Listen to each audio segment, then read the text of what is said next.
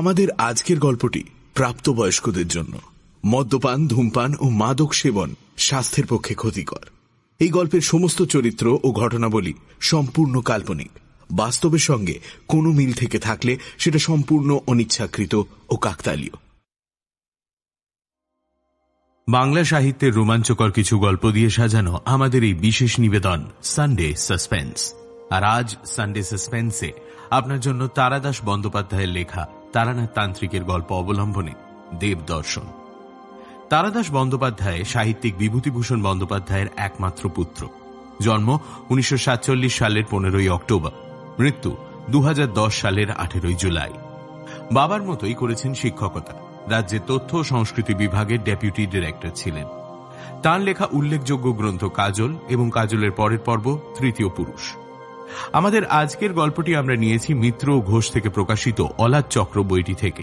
গল্পের বেতার নাট্যরূপ সর্বরী ঘোষাল। গল্প পাঠে মীর, গল্পের সূত্রধার আমি দ্বীপ শুরু হচ্ছে দেব দর্শন।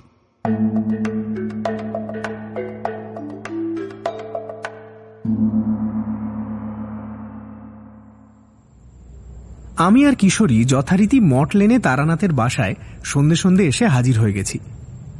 মঠ লেনের একটু ভেতর দিকে তারানাথের বাড়ি। এখান থেকে বড় রাস্তার কোলাহল আর গাড়ি ঘোড়ার শব্দ খুব আবছাভাবে শোনা যায়। কলকাতার পুরনো গৃহস্থ পাড়ায় দিনাবসানের একটা আলাদা মেজাজ আছে। কলকাতার বনেদি বাসিন্দারা সেটা টের পায়। তারানাথের বাড়িতে এসে এই ব্যাপারটা স্পষ্ট উপলব্ধি করতে পারা যায়। একটু চা বলি কি বলো? বেশ তো বলুন না। ততক্ষণে আমি বরং গলির মোড় থেকে গরম তেলে ভাজা নিয়ে আসি। তেলে ভাজা আর চা একসঙ্গে না হলে আবার আড্ডা কি? তারানাথ আরে না না বলে আপত্তি করলেও সে আপত্তিতে কর্ণপাত না করে কিশোরী বেরিয়ে গেল। একটু বাদেই সে ফিরে এলো হাতে বেশ বড় মাপের একটা শাল পাতা চাঙাড়ি নিয়ে। আরে বাবা এত সব কি এনেছো হে? একেবারে সদ্য ভাজা বেগুনি ঝাল বড়া আর মোচার চপ। কপটা জমবে ভালো। তারানাথের মেয়ে চারি চা নিয়ে এলো। আমরা বেগুনিতে কামড় দিয়ে গল্পের আশায় উৎসুকভাবে তারানাথের দিকে তাকালাম। এ এক অদ্ভুত নেশা আমাদের। যে গল্প তারানাথ আমাদের শোনায়, তার সত্য বিচার দুঃসাধ্য। কিন্তু একটা কথা স্বীকার করতেই হবে। গল্প বলে মানুষকে মুগ্ধ করে রাখার ক্ষমতায় তারানাথ অদ্বিতীয়। বোঝাই যায় তার ব্যবসায় ভয়ানক মন্দা চলছে। তাতে অবশ্য তারানাথের বিশেষ উদ্বেগ কিছু নেই। আর আমাদের তো ভালোই হয়েছে। গল্পের আসর নিত্য জমে ওঠে। ভাবছিলাম তারানাথকে জিজ্ঞেস করব কিনা যে তার সংসার চলে কি করে। জিজ্ঞেস করার আগেই সে বলে উঠল মধুসুন্দরী দেবীর কথা তোমাদের বলেছি তো। হ্যাঁ তবে আরও শোনার ইচ্ছে হয়। তাহলে শোনো। একবার বরাকর নদীর ধারে বালির চড়ায় পোড়া শোল মাছের নৈবেদ্য দিয়ে মধুসুন্দরী দেবীকে অর্ঘ্য দিয়েছিলাম। সেই রাত্রিরেই নদীর ধারে শালবনে অপার্থিব জ্যোৎস্নায় দেবী আবির্ভূতা হলেন। সেই অলৌকিক সৌন্দর্য কোনো মানবীর হয় না। সেই ভালোবাসা পৃথিবীর নারীর পক্ষে দেওয়া সম্ভব নয়। প্রায় এক বছর ধরে বরাকর নদী তীরের শালবন আমার তীর্থক্ষেত্র হয়ে উঠল। রোজ রাত্রিরে দেবী দেখা দিতেন।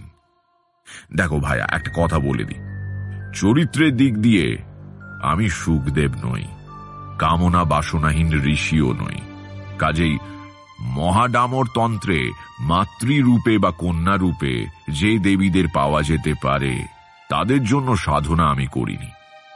মধুসুন্দরী দেবীকে প্রেমিকা হিসেবে পেতে চেয়েছিলাম। কিন্তু কিন্তু কি তারানাথ? কিন্তু আমরা সাধারণ মানুষ রে ভাই। প্রেমিকা হিসেবে দেবীকে সামলানো কি আমাদের পোষায়? মানুষ বউ নিয়েই জেরবার হতে হয়। কিন্তু এটা ঠিক। সাধকের জীবনকে দেবী স্বর্গীয় প্রেম সুধায় পূর্ণ করে দেন। স্বর্গীয় বলছেন কেন? এরা কি স্বর্গের দেবী? না একেবারেই না। এরা মানুষও নয় আবার সাধারণ অর্থে প্রেতও নয়। দেবতা তো নয় ভূত বলতে লোকে বোঝে পরলোকের অধিবাসী। মানুষ মরে সেখানে যায়। এরা মানুষ এবং তথাকথিত ভূত প্রেতের মাঝামাঝি এক অদ্ভুত জগতের বাসিন্দা। আজন্মকাল লালিত আমাদের শুভ অশুভের বোধ, মঙ্গলের ধারণা, ন্যায়, অন্যায়, পবিত্রতা কিছুই সেখানে খাটে না। আজ যে দেবীর মহিমা আমাকে সেবা আর প্রেমে ধন্য করছে, কাল মন্ত্র বা সাধনায় সামান্য ত্রুটি হলে পিসাচিনীর মতো সে আমাকে ধ্বংস করবে। এদের প্রেমও চরম প্রতিহিংসাও চরম। প্রতিহিংসা কিসের? সাধক তো কোনো অন্যায় করেননি। সে কি কথা? করেছে বই কি? তোমাকে যদি কেউ তোমার ইচ্ছার বিরুদ্ধে বল প্রয়োগ করে খাটিয়ে নেয় তাহলে কি তোমার খুব ভালো লাগবে? তেমনি বিপুল ক্ষমতাশালী ডামরিদের তুমি মন্ত্রের বাঁধনে আটকে তোমার ইচ্ছে মতো কাজ করাচ্ছ এতে কি তারা খুশি হচ্ছে? তা তো নয়। কিন্তু অসহায়ের মতো তারা তোমার কৃতদাস হয়ে আছে। আত্মরক্ষার বর্মে এতটুকু ছিদ্র পেলে তারা তোমাকে নির্মমভাবে হত্যা করবে। আমি যে আমি যে নিজে দেখেছি সেটা। কি দেখেছেন? অসাবধানী সাধকের মর্মান্তিক পরিণতি। মাথাটা মুচড়ে ছিঁড়ে ফেলেছিল সে। থাক ওসব কথা থাক, আমার অভিজ্ঞতাই বলি। বরাকরের সেই বালির চড়ায় আমার সাধনার খবর পেয়ে বাড়ির লোক আমাকে গিয়ে ধরে আনে। তখন আমার পাগলের মতো দশা। কত মাস চুল দাড়ি কাটিনি, বড় বড় নোখ শতছিন্ন জামা কাপড় গায়ে ময়লা। বাড়ি ফিরে আসবার আগের রাত্রিরে শেষবারের মতো দেবী আমাকে দেখা দিয়েছিলেন। বলেছিলেন কিছু শক্তি আমি তোমাকে দিলাম। যদি বুঝে ব্যবহার করতে পারো, তাহলে জীবনে অন্তত অন্য বস্ত্রের অভাব হবে না। আমার সঙ্গে আর দেখা হবে না।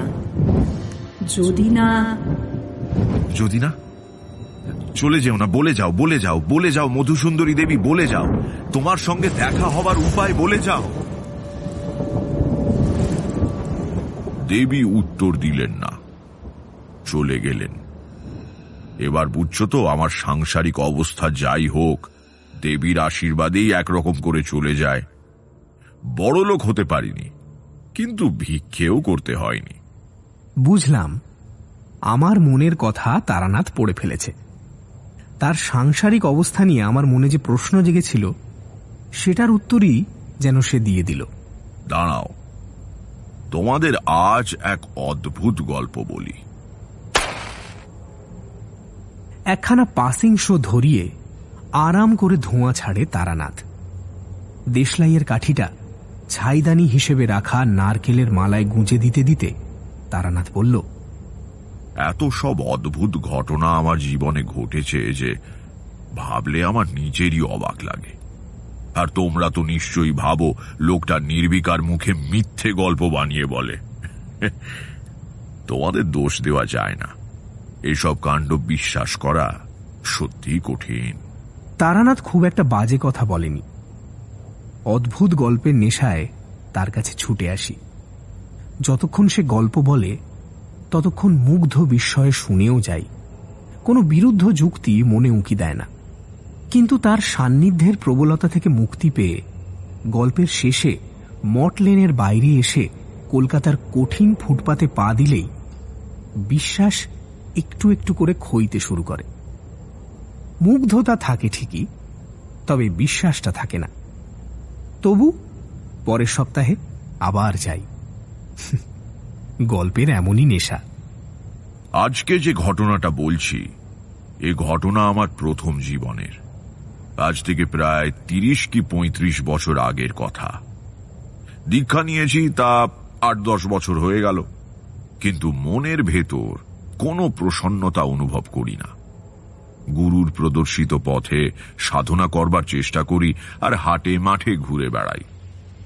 এমনি ঘুরতে ঘুরতে একদিন দুপুরের কিছু পরে ক্লান্ত হয়ে একটা নদীর ধারে ঝাঁকড়া এক বটগাছের ছায়ায় আশ্রয় নিলাম। জায়গাটা ভারী শান্তিপূর্ণ। নদী বয়ে যাচ্ছে সামনে, মাথার উপরে নানা ধরনের পাখির বিচিত্র ডাক। গাছের একটা শেকড়ে মাথা দিয়ে আরাম করে শুয়ে পড়লাম। ভবঘুরে জীবনের এই একটা সুন্দর দিক। কোনো দায় দায়িত্ব কিচ্ছু নেই, মুক্ত আনন্দে ঘুরে বেড়াও। ইচ্ছে হলে কোথাও দুদিন থাকো, ইচ্ছে না হলে আবার বেরিয়ে পড়ো। ভারী আনন্দের জীবন, চমৎকার জীবন। তাহলে আর সংসারের এই বন্ধনের মধ্যে ফিরলেন কেন? সত্যিকারের বড় মাপের সাধক হবার যোগ্যতা আমার ছিল না। জগৎ সংসার ব্যাপারে বিশাল মুক্তির মধ্যে চিরকালের জন্য নিজেকে যুক্ত করতে গেলে শক্তিশালী ব্যক্তিত্বের অধিকারী হতে হয়। নায়মাত্মা বলহীনেন লভ্য। তবু বলি, জীবনের ওই কটা বছর বড় আনন্দের, বড় শান্তিতে কাটিয়েছি। যাই হোক, ঘটনায় ফিরে আসি। ঠান্ডা ছায়ায় শুয়ে ঝিরঝিরে বাতাসে বোধহয় একটু ঘুম এসে গিয়েছিল। চটকা ভেঙে যেতে দেখলাম বেলা গড়িয়ে গেছে। সূর্যাস্ত হতে আর খুব বেশি দেরি নেই। পথে শুনেছি আরও মাইল চারেক বেড়ে গেলে পড়বে জয়তলা গ্রাম। সেখানকার মুকুজ্জে জমিদাররা যাত্রীদের জন্য অতিথিশালা করে রেখেছেন। সেখানেই রাত্রিটা থাকব ঠিক করেছি। তাড়াতাড়ি উঠে হাঁটতে শুরু করলাম, কারণ চার মাইল যেতে কম সময় লাগবে না। সন্ধ্যের কিছু পরে পরেই জয়তলা গ্রামে পৌঁছলাম। মুখুজ্জেরা কোনো এক সময় বর্ধিষ্ণু জমিদার ছিলেন, কিন্তু এখন তাদের অবস্থা খুব একটা ভালো নয়। বিশাল বাড়ি, মেরামতের অভাবে জীর্ণ হয়ে এসেছে। কোথাও দেয়ালের পলেস্তারা খসা, কোথাও কার্নিশে বটগাছের চারা। কিন্তু সব মিলিয়ে মানুষের আচরণে বনে দিয়ে আনার ছাপ। বারবাড়িতে দেউড়ির পাশে লম্বা কাছারি ঘর সন্ধ্যের পর এখন সেখানে অন্য কর্মচারী কেউ নেই। কেবল সামনে লণ্ঠন নিয়ে প্রৌঢ় নায়েব মশাই বসে কি সব হিসেব দেখছেন। তা আমি গিয়ে দাঁড়াতে খেরো থেকে মুখ তুলে নায়েব মশাই বললেন কে? কি চাই? আগে আমি তারানাথ চক্রবর্তী ভবঘুরে বলতে পারেন। রাত্রিটুকুর জন্য একটু আশ্রয় মিলবে? বিলক্ষণ মিলবে। অতিথিশালায় ভালো ঘর দিচ্ছি। একটা সিধে দিয়ে দিচ্ছি তাতে চাল ডাল আর ঘি লবণ থাকবে। আর আধসের দুধ। সারা রাত জ্বলবার মতো তেল ভরার লণ্ঠনও দেওয়া হবে। রঘু! রঘু! হ্যাঁ নয় মশাই ডাকতেছিলেন ইনি তারানাথ চক্রবর্তী ব্রাহ্মণ সন্তান। অতিথি হয়ে এসছেন। একে অতিথিশালায় নিয়ে যাও। পুবের ভালো ঘরটা দেবে। রঘু আমাকে নিয়ে গিয়ে ঘর খুলে দিল। মাঝারি ঘর একটা ন্যাড়া তক্তাপোষ আছে। তাতে বিছানাপত্র কিছু পাতা নেই। সে একদিক দিয়ে ভালোই হয়েছে। অন্যের ব্যবহার করা বিছানায় বা চাদরে আমার শুতে ভারী অস্বস্তি হয়। বারান্দায় কাঠের জালের উনুন আছে ঠাকুর মশাই আর ওই দিকের কোণের ঘরে চেলা করা শুকনো জ্বালানি কাঠ আছে। যত দরকার হয় নিয়ে নেবেন কোন। সিধে এসে গেল। রান্না বান্না করে খেয়ে রাতে ক্লান্তিতে ঘুমিয়ে পড়লাম। পরের দিন সকালে অতিথিশালার পরিচারক রঘু এসে ছোট বেতের ধামায় করে চিড়ে আর নারকেল জলখাবার দিয়ে গেল। ভাবলাম, বাহ, বেশ নিয়ম তো এদের। অতিথির স্বাচ্ছন্দ্যের জন্য সদা ব্যস্ত। পনেদিয়ানা একেই বলে। জলখাবার খাচ্ছি এমন সময় রঘু আবার এসে বলল ঠাকুর মশাই আপনি কি আজও নিরামিষ খাবেন? কাল রাত্রিরে হঠাৎ কোনো ব্যবস্থা করা যায়নি। যদি আমি সাহারে আপত্তি না থাকে তার ব্যবস্থা দেখি কে? আপত্তি আর কি? আমি কি বসতম যে মাছ মাংস খাব না। কিন্তু ওসব করার দরকার নেই। আমি তো চলে যাব। চলি যাবেন? কেন? যাব না? অতিথি কি চিরদিন থাকে? সে তো ঠিক ঠাকুর মশাই তবে এই বিষয়ে আমিও কিছু বলতে পারব না। আপনি জল খান। আমি নায়েব মশাইকে খবর দিচ্ছি। একটু বাদেই নায়েব সাহেব হাজির হলেন। গোল গোল চেহারার মধ্যামাকৃতি মানুষটি। ভারী সজ্জন। এসে বললেন ঠাকুর মশাই নাকি আজ চলে যাওয়া স্থির করেছেন? হ্যাঁ। কিন্তু তা তো হবার নয়। সে কি? আমি অতিথি না বন্দি? না না না, ছি ছি ছি। অমন কথা বলবেন না। বন্দি হতে যাবেন কেন? আসলে আপনি অতিথি হয়ে আছেন শুনে বড় কর্তা আপনার সঙ্গে একটু আলাপ করতে চেয়েছেন। কাল তো দেখা হয়নি। বড় কর্তা? মানে জমিদার মশাই? আগে হ্যাঁ খুব ভালো মানুষ। থেকেই যান না আজকের দিনটা? তা থেকেই গেলাম। এক এক জায়গায় অতিথি হয়ে থাকতে মন্দ লাগে না। মুখুজ্জে বাড়িও তাই। নায়েব মশাইয়ের কাছে জানলাম জমিদার মশাইয়ের নাম দেবদর্শন মুখুজ্জে কিছুক্ষণ বাদে রঘু এসে নিয়ে গেল জমিদার মশাইয়ের কাছে। লম্বা সিঁড়ি বেয়ে বারান্দায় উঠতেই বাড়ির কর্তাকে দেখতে পেলাম। দীর্ঘদেহী ফর্সা মানুষ, উজ্জ্বল বড় বড় চোখ, কোঁকড়ানো চুলে মাঝখানে সিঁথি করা। পরনে তাঁতের ধুতি আর হাত কাটা বেনিয়ান। বয়স বছর পঞ্চাশ কি বাহান্ন হবে, যাকে বলে সুপুরুষ। হেলান দেয়া চেয়ারে আধশোয়া হয়ে আলবোলায় তামাক খাচ্ছিলেন। আমাকে দেখে সোজা হয়ে বসে হাত জোড় করে বললেন, নমস্কার নমস্কার ঠাকুর মশাই বসুন বসুন। কাল একটু অন্য কাজে ব্যস্ত ছিলাম, আলাপ করা হয়ে ওঠেনি। তাই নায়েব মশাইকে বললাম, আজ আলাপটা হয়ে যাক। আজ থাকছেন তো? কি আর করি? রাজার হুকুম মানতেই হবে। তা তামাক চলে? হ্যাঁ চলে। ওরে কে আছিস?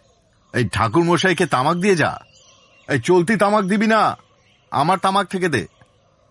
এক নম্বর গয়ার আম্বুরি। খেয়ে দেখুন দেখি কেমন লাগে। যে তামাক এতক্ষণ উনি খাচ্ছিলেন সেটাই যদি এক নম্বর গয়ার অম্বুরি হয়। তাহলে জিনিসটা নিঃসন্দেহে ভালো। গন্ধের চারদিক আমোদিত করছে। চাকর তামাক দিয়ে গেল, মৌজ করে টানতে শুরু করলাম। ওই যে কথাটা বললেন না, রাজার হুকুম। ওটা শুনলে আজ হাসি পায় বটে। কিন্তু এককালে লোকে আমাদের রাজাই বলতো, বুঝলেন? ভেঙে পড়েছে ঠিকই, তবু বাড়িটা দেখলে হয়তো সেটা কিছুটা আন্দাজ করতে পারবেন। ঠাকুরদার আমল থেকে পতনের শুরু। আর আজ এই যা দেখছেন এই অবস্থায় এসে ঠেকেছে। এসব কথার কোনো উত্তর হয় না। চুপ করে তামাক খেতে লাগলাম। একটু পরে দেবদর্শন বাবু বললেন প্রায় দেড়শো বছর আগে আমার পঞ্চম ঊর্ধ্বতন পূর্বপুরুষ জয়দর্শন মুখোপাধ্যায় এই গ্রামের প্রতিষ্ঠা করেন। তার নামেই গ্রামের নাম জয়তলা। আরে সেই সময় আমাদের প্রতিপত্তি ভাবতেও পারবেন না ঠাকুরমশাই। জয়দর্শনের বাবা নবাবী আমলে উড়িষ্যার কি একটা গুরুত্বপূর্ণ বিভাগে দেওয়ানি করে বিপুল ঐশ্বর্য সংগ্রহ করেছিল। নবাবের কাছ থেকে অবসর নিয়ে তিনি এই গ্রাম আর কাছাকাছি জায়গায় অনেক জমি জমা কেনেন। তখন তো যতই অর্থ থাকুক ভূ সম্পত্তির অধিকারী না হলে সমাজে স্থায়ী মন পাওয়া যায় না। কিন্তু সম্পত্তি কিনে লোক বসতি গড়ে তোলার আগেই জয়দর্শন মারা গেলেন। লোকে তাকে বলতো রাজা জয়দর্শন। প্রজারা তাকে ভয়ও করত যেমন, ভালোও বাস্ত তেমন। শুনেছি তাঁর আমলে জয়তলা বা আশপাশে কখনো ডাকাতি হয়নি। হলে ডাকাতদের রেহাই ছিল না। ধুমধাম করে মুখুজ্জে বাড়ির দুর্গোৎসব হতো। বোধনের দিন থেকে বিজয়ার রাত্রি পর্যন্ত গ্রামে কারোর বাড়িতে উনুনের আঁচ পড়ত না। জমিদার বাড়িতে সবার নেমন্তন্ন। এই দেখো এত কথা বলছি আসল কথাটাই জিজ্ঞাসা করা হয়নি। আপনার পাঁঠার মাংস চলে তো? খুব চলে। কালী নায়েব মশাইকে বলেছি আমি মাছ মাংস সবই খাই। সাহস করে একটা কথা বলব কিছু মনে করবেন না তো? ও কি কথা? নিশ্চয়ই বলবেন। আপনি কি সাপক ছাড়া আহার করেন না? করি বই কি? কেন করব না? আমারও সব বাতিক নেই। তবে কাল বিকেলে কষ্ট করে রান্না করতে গেলেন কেন? অবশ্য সে আমাদেরই দোষ। অতিথিশালার সাধারণ নিয়ম অনুযায়ী আপনাকে সিধে দেওয়া হয়েছে। আপনি নিজে তো আর বলবেন না। রঘু! রঘু! এই রঘু! বলেন। এই শোনো ঠাকুর মশাইকে আজ থেকে আর সিধে পাঠাবে না। উনি আমার সঙ্গে বাড়ির ভেতরে খাবেন। যাও বাড়ির ভেতরে বলে এসো। আর হ্যাঁ তামাক বদলে দাও। যে আগে এখনই দিচ্ছি। বুঝলেন ঠাকুর মশাই সূক্ষ্ম বিষয় বুদ্ধি না থাকলে কোনো ঐশ্বর্যই চিরস্থায়ী হয় না। জয়দর্শন আর তার বাবা শ্রম আর বুদ্ধি দিয়ে যা গড়ে তুলেছিলেন পরের দুই তিন পুরুষে তা সবই গেল। এর সবচেয়ে বড় কারণ কি জানেন? একতার অভাব। সংসার বড় হতে লাগল। লাগাম কার হাতে থাকবে তা নিয়ে বিরোধ শুরু হলো। ফলে অনিবার্যভাবে এতদিনের ঐতিহ্যপূর্ণ পরিবার টুকরো টুকরো হয়ে ভেঙে যেতে লাগল। এখন এই গ্রাম ছাড়াও কত জায়গায় জয়তলার মুখুজ্জেরা ছড়িয়ে আছে। সন্তুষ্ট কেউ নয়। সকলেরই ধারণা, সে তার ন্যায্য প্রাপ্যের চেয়ে কম পেয়েছে। আমি অবশ্য ঝগড়াঝাটি করিনি, কিন্তু বাপ পিতামহের এই ভদ্রাসন আমার সব শক্তি দিয়ে ধরে রেখেছি। টাকা না পাই স্মৃতি থাক। চিরদিনই আমার গল্প শুনতে খুব ভালো লাগে। আর ভালো লাগে এই রকম পড়ন্ত বনেদি বাড়ির পরিবেশ। এসব বাড়ির প্রত্যেকটি ইটে, কার্নিশে, বটগাছের চারায়, বারান্দার বাঁকে বাঁকে পুরনো দিনের গল্প মিশে আছে। কাদের যেন সব ফিসফাস কানাকানি। হঠাৎ আধো অন্ধকারে কে যেন কোথায় হেসে উঠল। মিলিয়ে যাওয়া ধূপের গন্ধ পাক খায় আনাচে কানাচে। আমাদের পরিবার শেষ বড় ধাক্কা খেল আমার বাবার আমলে।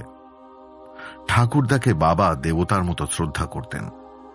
ঠাকুরদার মৃত্যুর পর বাবা স্থির করলেন একটা অসাধারণ শ্রাদ্ধের আয়োজন করে। খুবই ছেলে মানুষই সন্দেহ নেই, কিন্তু বাবা এটা করলেন সত্যি সত্যি ঠাকুরদাকে ভালোবেসে। কেউ বিশ্বাস করবে না, বাবা কিন্তু কোনো সামাজিক দলাদলি আর লোক দেখানো ভরং একদম পছন্দ করতেন না। আসলে তিনি এইভাবে ঠাকুরদার স্বর্গস্থ আত্মাকে দেখাতে চাইলেন, তাঁর শ্রদ্ধা কতটা গভীর ছিল। আপনি পণ্ডিত মানুষ, ঠাকুরমশাই। কত রকম শ্রাদ্ধ হয় নিশ্চয়ই জানেন। সবচেয়ে অনাড়ম্বর হল তিল কাঞ্চন শ্রাদ্ধ, তারপর ষোড়শ পচার তারপর বৃষদ স্বর্গ, তারপর দান সাগর দান সাগরে গিয়ে সবাই থেমে যায়। মানে ওই পর্যন্ত যারা পৌঁছতে পারে। কিন্তু এর চেয়েও বড় মাপের শ্রাদ্ধ আছে। তা হল দ্বিজ দম্পতি শ্রাদ্ধ। বাহ, আপনি জানেন? অবশ্য আপনি তো জানবেনই। দ্বিজ দম্পতি শ্রাদ্ধে তিল কাঞ্চন থেকে দান সাগর পর্যন্ত সবই করতে হয়। তারপর আমন্ত্রণ করে আনা এক ব্রাহ্মণ যুবক আর এক কুমারী মেয়ের বিয়ে দেওয়া হয়। ওই মণ্ডপেই তাদের ভূমি দান করতে হয়। মেয়ের গয়না ছেলের যাবতীয় জিনিস দিতে হয়। তাদের ঘর বসত করিয়ে ভবিষ্যতের সমস্ত সংস্থান করিয়ে দিতে হয়। তাহলে বুঝতেই পারছেন কাণ্ডখানা। হ্যাঁ হ্যাঁ। সমস্তটাই যা খরচ হয় অনেক ধনবান মানুষও সারা জীবনে তা উপার্জন করতে পারে না। ঠিক। আমি তখন খুব ছোট। বছর পাঁচেক বয়স হবে। আবছা আবছা মনে করতে পারি দূর দূর গ্রাম থেকে নিমন্ত্রণ পেয়ে আসা ব্রাহ্মণ পণ্ডিতদের হাতে দানের জিনিস হিসেবে বাসনপত্র শাল দোশালা আর স্বর্ণ রৌপখণ্ড তুলে দেওয়া হচ্ছে। দ্বিজ দম্পতি হাসি মুখে বসে আছেন আসলে। উপস্থিত লোকজন তাদের সাক্ষাৎ বিষ্ণু আর লক্ষ্মী জ্ঞানে প্রণাম করছে। তারা কেউ জীবিত আছেন? না কেউ নেই। এই গ্রামেই তাদের বসত করানো হয়েছিল। তাদের সন্তানরা আছে। দক্ষিণা হিসেবে পাওনা সেই ভূসম্পত্তির উপসত্ব থেকে তাদের ভালোভাবেই চলে যায়। আমাকে তারা দাদা বলেই ডাকে। এই এ রঘু! আসি কর্তা! আপনি ভাগ্যবান রাজামশাই। এই জিনিস নিজের চোখে দেখেছেন। হ্যাঁ তা ঠিক। রঘু তার প্রভুর কখন কি প্রয়োজন সব বুঝতে পারে এবং সেজন্য আগে থেকে প্রস্তুত থাকে। ডাক শোনা মাত্র, সে এসে কোলকে বদলে দিয়ে গেল। কি হলো হে? হ্যাঁ? তোমরা এমন চুপ করে রয়েছ? ভাবছ, এ কি পুরনো জমিদার বাড়ির গপ্প বুড়োটা শুরু করল? রোসো রোসো। জীবনের সব কাহিনী একটার সঙ্গে আরেকটা জোড়া। কোনো একটা বলতে শুরু করলে অন্যগুলোই টান পড়ে। তাছাড়া বকবক করা বয়স বাড়বার একটা লক্ষণ। তো আর বকবো না থামবো? আরে বলতে থাকুন বলতে থাকুন এই শুনতেই তো আশা। তেমন হলে সারা রাত বসে শুনব। তারানাথ পরিতৃপ্ত মুখে নতুন একটা পাসিং শো ধরালো। যে গল্প বলতে ভালোবাসে এবং ভালো গল্প বলে সে আগ্রহী শ্রোতা পেলে যেমন খুশি হয় তেমন আর কিছুতে নয়। এই ঘটনাটা কিন্তু বাকি আর সব ঘটনার থেকে অন্যরকম মুকুজ্জে বাড়ি থেকে চলে আসার আগে একটা মজার ঘটনা ঘটেছিল। তোমরা ভাবো তারানাথ গল্প বললেই বোধহয় কেবল কষ্ট, দুঃখ আর ভয়ের গল্প বলে। কিন্তু সেটা সত্যি নয়। আমি জীবনের গল্প বলি।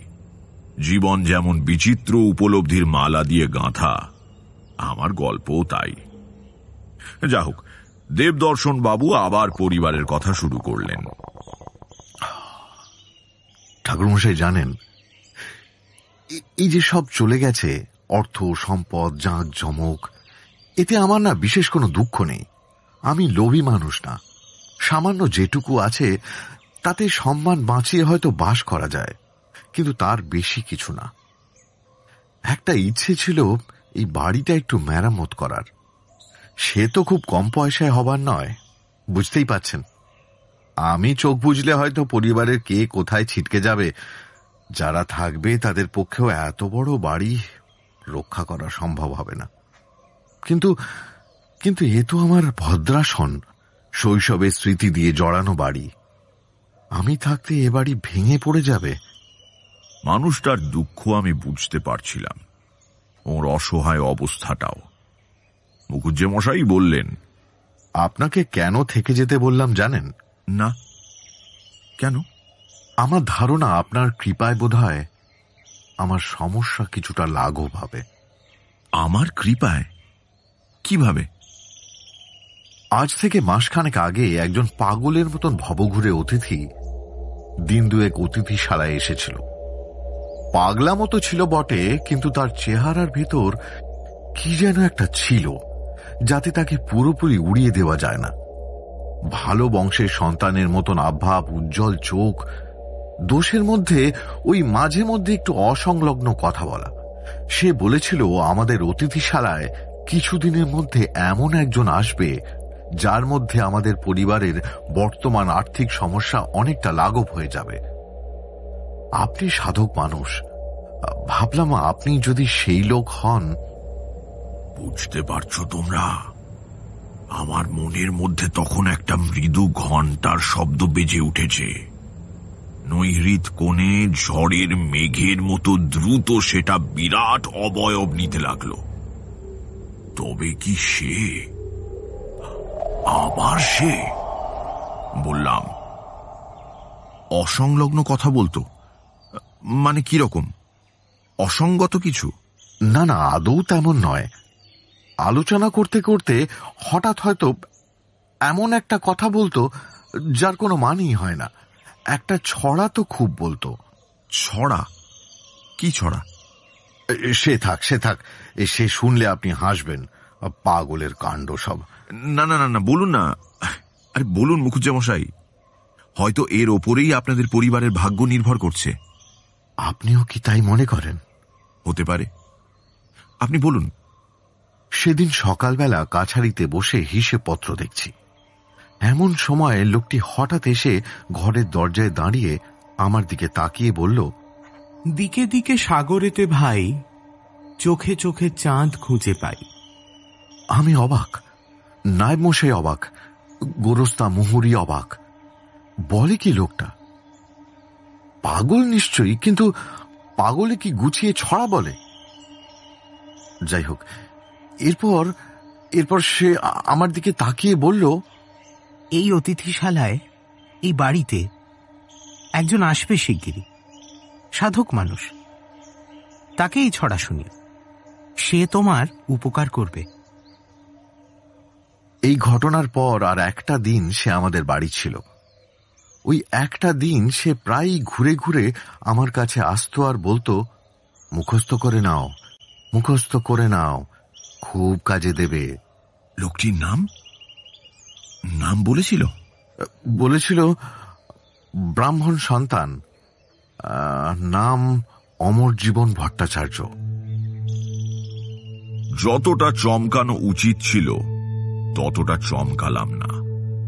আমি একরকম বুঝতেই পারছিলাম উনি এই নামই বলবেন।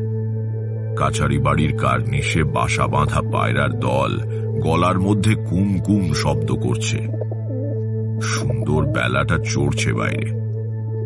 এ বাড়ির এখন কোনো বিপদ নেই সামনে, বরং এদের মঙ্গল হবে। শান্ত, পবিত্র পরিবেশে সেই আসন্ন মঙ্গলের প্রতিশ্রুতি। স্থান লক্ষণ বোঝবার শক্তি দিয়েছিলেন মধুসুন্দরী দেবী। সেটি এখনও নষ্ট হয়নি। তাই অনুভব করছিলাম সবটা। ছড়াটার মানে কিছু বুঝলেন? হ্যাঁ মানে না এখনও তো কিছু ধরতে পারছি না। আর রাজামশাই ওই অমর জীবনের বলা সেই লোক যে আমি তাই বা বুঝছেন কি করে? না মানে ঠিক তা নয় মানে আমি সেই লোক না হলে আরও দিন দুই এখানে থাকতে পাবো তো। ওমা সে কি? নিশ্চয়ই থাকবেন। অতিথি নারায়ণ কত সৌভাগ্য থাকলে তবে বাড়িতে অতিথি আসে। আচ্ছা এই লোকটা মানে অমর জীবন এর বয়স কত বলে মনে হয়েছিল আপনার? মানে খুব বুড়ো মানুষ কি? না না একেবারেই নয়। কত আর হবে? এই পঁয়ত্রিশ ছত্রিশ। পঁয়ত্রিশ ছত্রিশই বটে। থেকে গেলাম মুকুজ্জে বাড়িতে। পরের দিন সকালে মুকুজ্জে মশাইয়ের সঙ্গে বৈঠকখানায় বসে গল্প করছি। এমন সময় একজন প্রৌঢ় মানুষ ঘরে ঢুকে জীর্ণ ছাতাখানা দরজার কোণে ঠেসিয়ে রেখে বললেন, নমস্কার রাজাবাবু। এ বছর তো আমার খেলা সামনের মাসে। আজ একখানা টিকিট দিয়ে যাই। সোমবার বিলেতের মেলে কাগজপত্র সব পাঠিয়ে দেবো। এদিকে তো আর আসা হবে না। আজই দিয়ে যাই। আমি কিছু বুঝতে পারছি না। কিন্তু কৌতূহল হচ্ছে কিসের টিকিট? বিলেতের মেলে কাগজ পাঠানো কি ব্যাপার? দেবদর্শন বাবু আমার দিকে তাকিয়ে বললেন বিলেতে ডার্বির টিকিট। পাবো কত সে আমিও জানি আর এই ভূষণ রায়ও জানে। তবে এবছর একখানা টিকিট কিনি অভ্যেস আর কি। দাও হে ও একখানেই দাও। হ্যাঁ কোনটা? যেটা হোক একটা। বেশ বেশ বেশ বেশ। এ, তাহলে এ, এ, প্রথমটাই দি। এ- একটু দাঁড়ান। দেখি। না ওটা নয়। আপনি এ- এটা নিন। টিকিটের গোছা থেকে অন্য একটা টিকিট বেছে দিলাম। বুঝলাম দেবদর্শন যেন কেমন অদ্ভুতভাবে আমার দিকে তাকিয়ে আছেন। আমি হেসে বললাম বেশি ভাববার কিছু নেই। নিলে এটাই নিন। ভূষণ রায় স্পষ্টই কিঞ্চিত ইতস্তত করছেন। একবার আমার দিকে আরেকবার মুকুজ্জে মশাইয়ের দিকে তাকাচ্ছেন। দেবদর্শন দ্বিধা ঝেড়ে ফেলে বললেন ঠিক আছে। ঠাকুর মশাই যেখানা বলছেন সেখানাই দাও। নিজের পছন্দ তো অনেক দেখলাম। এবার ঠাকুর মশাইয়ের পছন্দের ফলটা দেখি। গোছা থেকে টিকিটখানা ছিঁড়ে দেবদর্শনকে দিলেন ভূষণ রায়। কি একটা ফর্মে নাম ঠিকানা আর নোম ডি প্লাম লিখে নিলেন।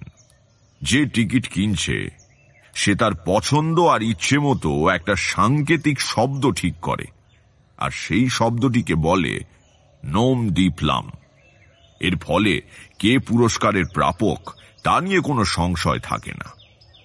একই নামে একাধিক লোক থাকতে পারে, কিন্তু গোপনে নির্বাচন করা সাংকেতিক শব্দ কখনো এক হবে না।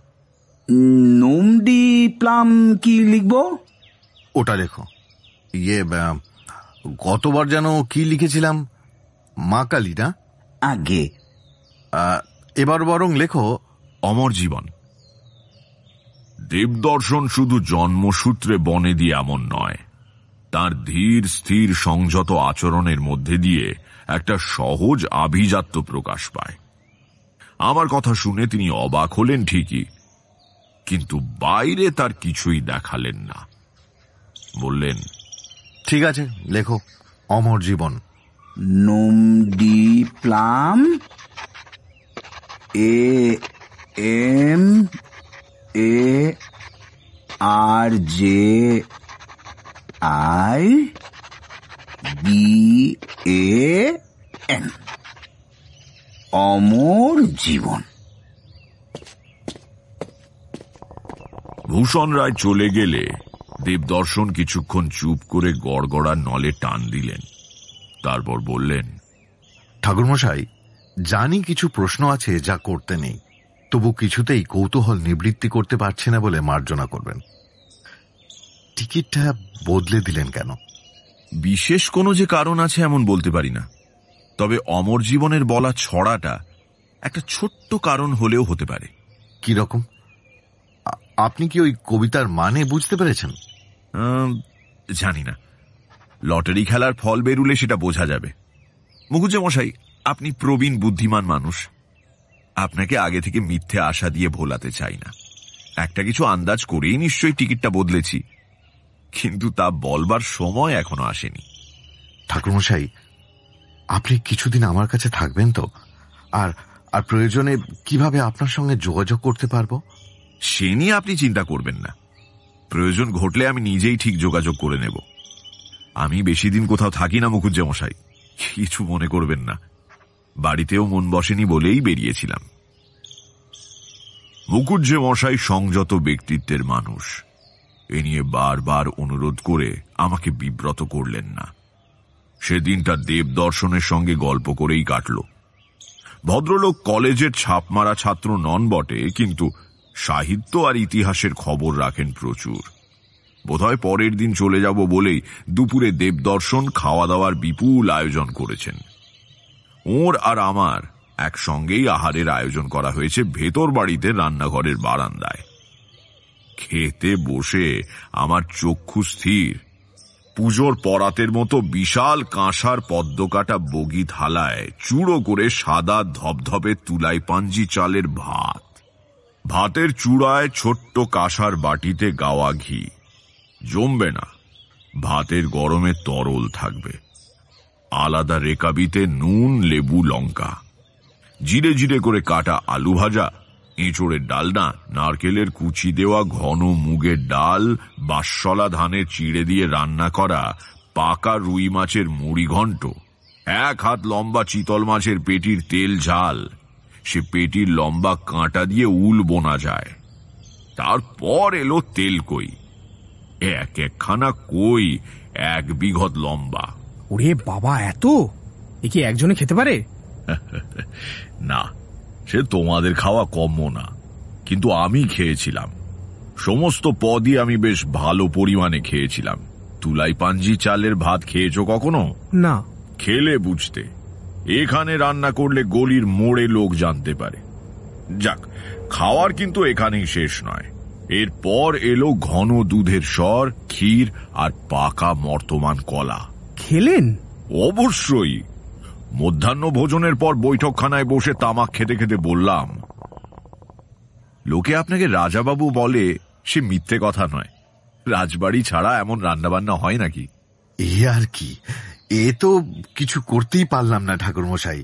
একটু হঠাৎ হয়ে গেল কিনা? সত্যি যদি আবার আসেন তখন আমাদের এই অঞ্চলের কিছু ভালো রান্না আপনাকে খাওয়াবো।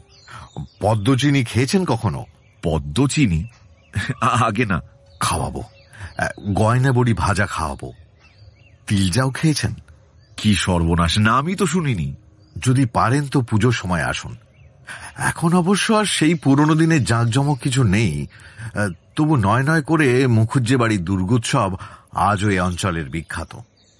বংশানুক্রমে দুশো বছর ধরে একই কুমোর পরিবার ঠাকুর তৈরি করে, একই পুরোহিত বংশ পুজো করে, একই ঢাকিদের বংশ ঢাক বাজায়। প্রতিমার সামনে অষ্টমীর দিন রাত্রির থেকে কবির গান যাত্রা এসব হয়। যদি ভাগ্য ভালো থাকে, তাহলে সন্ধি পুজোর সময় গড়ের তোপও শুনতে পাবেন। গড়ের তোপ কি জিনিস?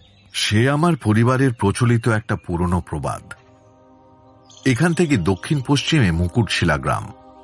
আমার প্রপিতামহী ছিলেন মুকুটশিলা গ্রামের মেয়ে। তার বাপের বাড়ি ছিল বিশাল ভূসম্পত্তির।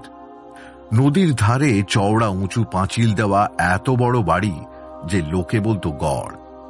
সে বাড়িতে বিখ্যাত বিরাট দুর্গোৎসব হতো। তা বিয়ের পর প্রপিতামহীর তো যেমন হয় আর কি, বাপের বাড়ি যাওয়া হয় না। তা একবার পুজোয় যাবেন বলে সকলের অনুমতি করিয়েও পুজোর কদিন আগে বিরাট অসুখ বাঁধিয়ে বসলেন। এখন জানতো তখন জান অবস্থা। কিন্তু সেই বিকারের মধ্যেও একটু জ্ঞান ফিরলেই বলতেন, আমার বাপের বাড়ি যাওয়া হলো না, পুজো দেখা হলো না। তা আমাদের কুলগুরু দীনদয়াল ভট্টাচার্য প্রপিতামহীর আক্ষেপ শুনে বলেছিলেন, মা তোমাকে কোথাও যেতে হবে না। এইখান থেকেই তুমি সন্ধি পুজোর দিন মুকুটছিলা গ্রামের গড়ের তোপ শুনতে পাবে। এইখান থেকেই তুমি প্রণাম জানিও।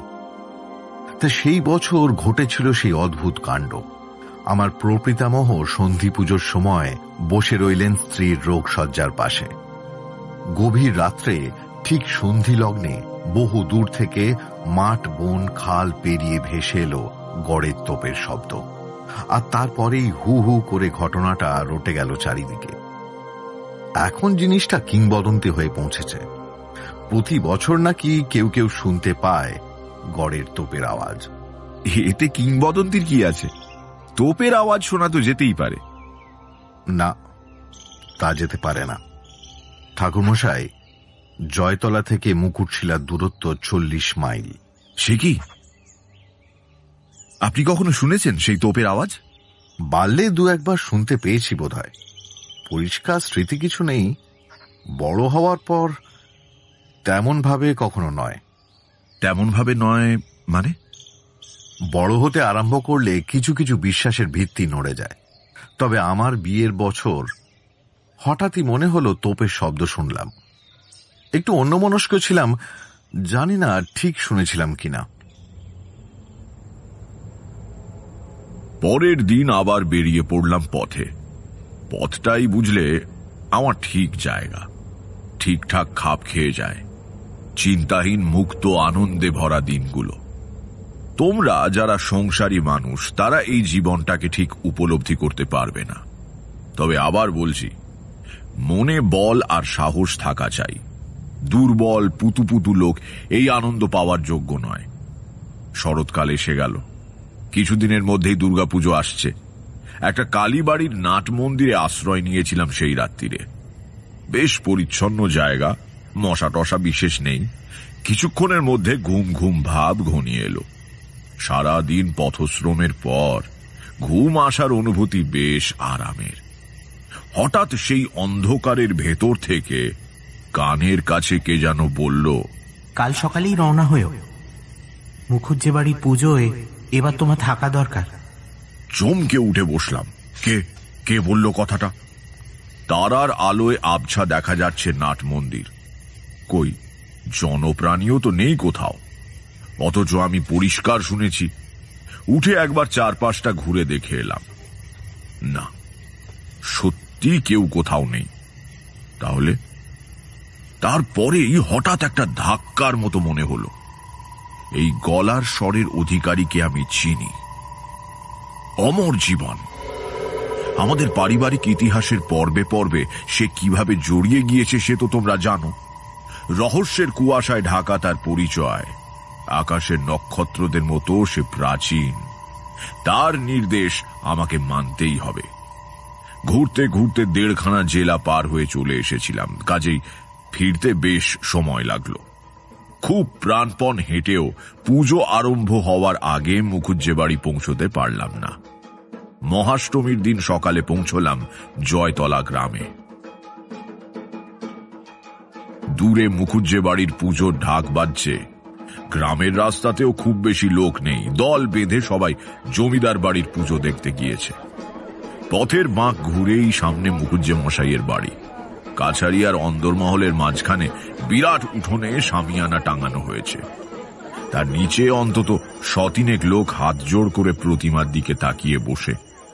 আমি মণ্ডপে ঢুকতেই সমস্ত কোলাহল থেমে গিয়ে অত বড় আসরে স্তব্ধতা নেমে এলো। প্রথমে বুঝতে পারিনি। তারপর বুঝলাম। সন্ধি পূজা সমাগত। ঠাকুর দালানে প্রতিমার সামনে একশো আটখানা পেতলের প্রদীপ ধক ধক করে জ্বলছে। পুরোহিত এক দৃষ্টিতে তাকিয়ে আছেন লোহার বেড়ের উপর বসানো নতুন জল ভরা মাটির হাঁড়ির দিকে। তার তলার ফুটো দিয়ে জল বেরিয়ে যাচ্ছে। সমস্ত জল বেরিয়ে গেলে সন্ধি পুজো শুরু হবে। ভালো সময় পৌঁছলাম মুকুজ্জে মশাইয়ের বাড়িতে। রঘুই আমাকে প্রথম দেখতে পেল। এক গাল হেসে আসরের সামনে যেখানে দেব দর্শন বসে আছেন সেখানে নিয়ে গিয়ে নিচু হয়ে বোধহয় আমার কথা বলল তাকে। দেবদর্শন চমকে উঠে মাথা ঘুরিয়ে আমার দিকে তাকালেন। আর ঠিক তখনই মানে আপনি সেই চল্লিশ মাইল দূরের তোপের আওয়াজ শুনলেন? আমি একা নয়। মানুষের জয়ধ্বনি বলছিল আরও অনেকে শুনেছে। অদ্ভুত কাণ্ড। মুখুজ্জে মশাই আমার দিকে ঘুরে তাকালেন আর চোখাচোখি হওয়া মাত্র সেই তোপের আওয়াজ। ওদিকে সন্ধি পুজোর সময় এসে গেল। ঢাক বেজে উঠল। তারপর বলি শুরু হলো। না, পশু বলি হয় না এ বাড়িতে। কামারের হাতে ঝকঝকে খাঁড়া, উঠছে, নামছে, এঁটেল আর বালিমাটি মিশিয়ে তৈরি বেদির ওপর পরপর বলি হয়ে যাচ্ছে একশো আটটা চাল কুমড়ো, কলা, আখ, সুপুরি তার মধ্যে সুপুরি বলি ব্যাপারটা দেখার মতো। মাটির বেদিতে রাখা ওইটুকু একটা জিনিসের ওপর অত বড় ভারী খাড়া নির্ভুল ভাবে নেমে আসছে। সুপুরি এতটুকু পিছললে মহা অকল্যাণ। সন্ধি পুজো শেষ দেবদর্শন প্রণাম সেরে আমার কাছে এসে দাঁড়ালেন। তার চোখে জল। শুনলেন ঠাকুরমশাই তোপের শব্দ? হ্যাঁ শুনলাম। আপনার নিমন্ত্রণ রেখে ভালোই করেছি। চলুন আমরা বৈঠকখানায় গিয়ে বসি। ভেতরে আমরা গিয়ে বসার একটু পরেই রঘু দুজনকে তামাক দিয়ে গেল। পেছনে এলো পুরোহিতের তন্ত্রধার। তার হাতে দুখানা কাঠের বার কোষে পুজোর প্রসাদ। প্রসাদ খেয়ে আপাতত চালান ঠাকুরমশাই। দুপুরে খেতে কিন্তু একটু দেরি হবে। লোকজন সব সন্ধি পুজো দেখছিল। এইবার রান্না চাপানো হবে। অসুবিধে কি? আমার কোনো তাড়া নেই। আমাদের কিন্তু দেবী পুরাণ মতে পুজো। এই কদিন নিরামিষ খাওয়া চলে। একেবারে দশমীর দিন বিসর্জন সেরে এসে রাত্রিরে লুচি, মাংস খাওয়া হবে সকলে মিলে। চমৎকার ব্যাপার। দেবদর্শনের বাড়ির একটা সুন্দর প্রথা দেখলাম। যেমন দুপুরে আর রাত্রিরের সামুদায়িক ভোজ। সবাই মিলে সামিয়ানার নিচে শাড়ি দিয়ে বসে একই খাবার খাওয়া হচ্ছে। জমিদার বলে দেবদর্শন আলাদা বসেননি। বা তাকে আলাদা করে বিশেষ কোনো খাবারও দেওয়া হচ্ছে না। আয়োজন হয়তো বিরাট কিছু নয়, কিন্তু সমবেত মানুষজন সোনা হেন মুখ করে আনন্দের সঙ্গে খাচ্ছেন। প্রথম কারণ, জমিদার বাবুর প্রতি ভালোবাসা। দ্বিতীয় কারণ, একসঙ্গে বসে খাওয়ায় আনন্দ। সকলের সঙ্গে আনন্দ করে পুজোর বাকি দুটো দিন কেটে গেল। দশমীর দিন দুপুরের পর থেকে বউ আর ঝিয়ের দল ভিড় করে ঠাকুর বরণ করতে শুরু করল। দু থাক তক্তা দিয়ে প্রতিমার সামনে উঁচু মঞ্চের মতো করে দেওয়া হয়েছে। তার উপরে দাঁড়িয়ে মেয়েরা ঠাকুরের কপালে সিঁদুর পরিয়ে দিচ্ছে। মুখে ছুঁয়ে দিচ্ছে সন্দেশ।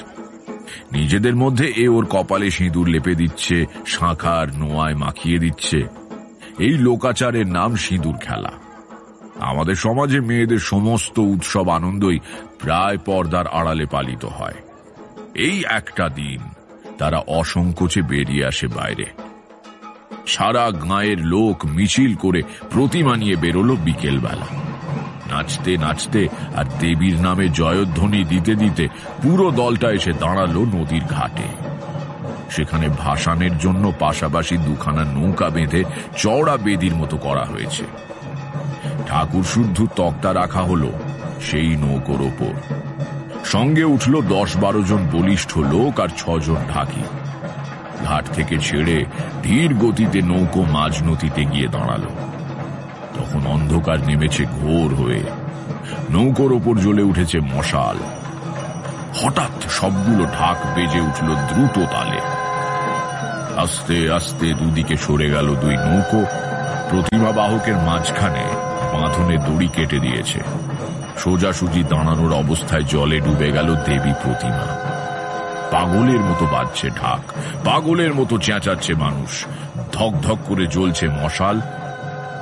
বিসর্জনটা হয়ে গেল।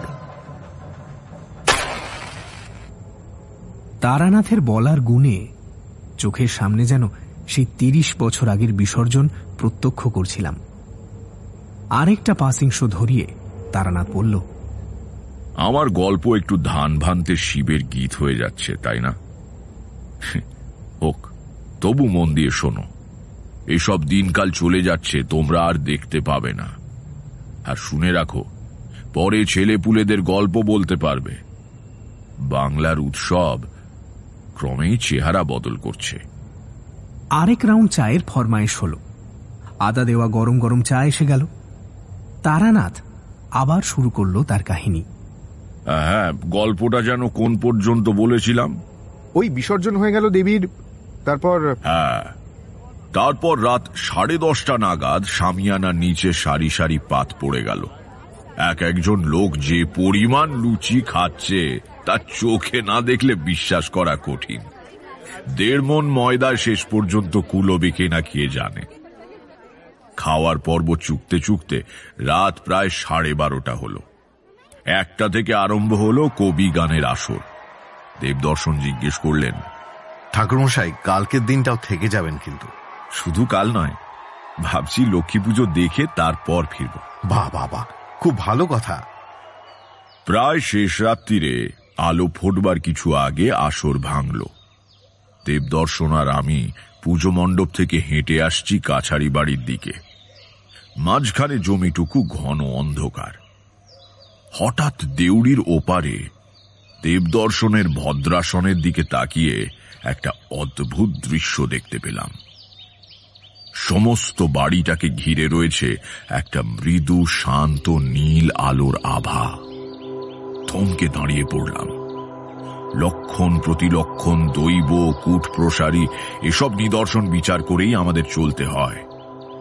নীল আলোটা দেখে বুঝলাম এই বাড়িকে ভগবান আশীর্বাদ করেছেন। এখানে কিছুদিনের ভেতর খুব ভালো কিছু একটা ঘটবে। আমাকে দাঁড়িয়ে পড়তে দেখে দেবদর্শনও দাঁড়িয়ে গেলেন। কি হলো ঠাকুরমশাই? দাঁড়িয়ে পড়লেন যে? বুঝলাম নীল আলোটা উনি দেখতে পাচ্ছেন না। না পাওয়ারই কথা। বললাম কি কিছু না। আজ শুক্লপক্ষের একাদশী পড়ে গিয়েছে। চাঁদের আলো সামান্য হলেও থাকা উচিত ছিল। এত অন্ধকার হলো কীভাবে? চাঁদ আকাশে আছে ঠাকুরমশাই। পশ্চিমে হেলে পড়েছে কিনা আম বাগানের আড়ালে বলে দেখতে পাচ্ছেন না। বড় অন্ধকার তাই না? যা বলেছেন নিজের বাড়িটাকেই দেখতে পাচ্ছি না। এই জিনিসটা বরাবর আমাকে অবাক করেছে। স্পষ্ট সুন্দর নীল আলোয় উদ্ভাসিত হয়ে আছে মুখুজ্জে বাড়ি। কিন্তু আমি ছাড়া কেউ তা দেখতে পাচ্ছে না। আমার মানসিক শক্তি খানিকটা দেবদর্শনের মধ্যে সঞ্চারিত করে ওকে আলোটা দেখাতে পারতাম। কিন্তু এ ধরনের আধ্যাত্মিক অভিজ্ঞতার মুখোমুখি হওয়ার জন্য কিছুটা পূর্ব প্রস্তুতি দরকার। নইলে উনি ভয় পেয়ে যেতেন। বৈঠকখানা এসে দেবদর্শন বললেন, সারা রাত তো জেগে, তাছাড়া কয়েকদিন ধরে আপনার পরিশ্রমও কম যাচ্ছে না। একটু ঘুমিয়ে নেবেন নাকি? তখন ব্রাহ্ম মুহূর্ত। পূব আকাশে প্রাক উষার হালকা আভাস।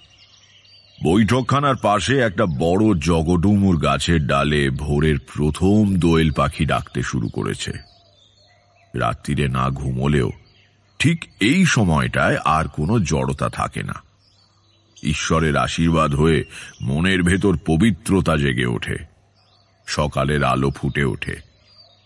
বললাম না মুখুজ্জে মশাই এখন আর শোব না। বসুন তাহলে গল্প করা যাক। আমিও শোব না। রঘু রঘু তামাক দিয়ে যা।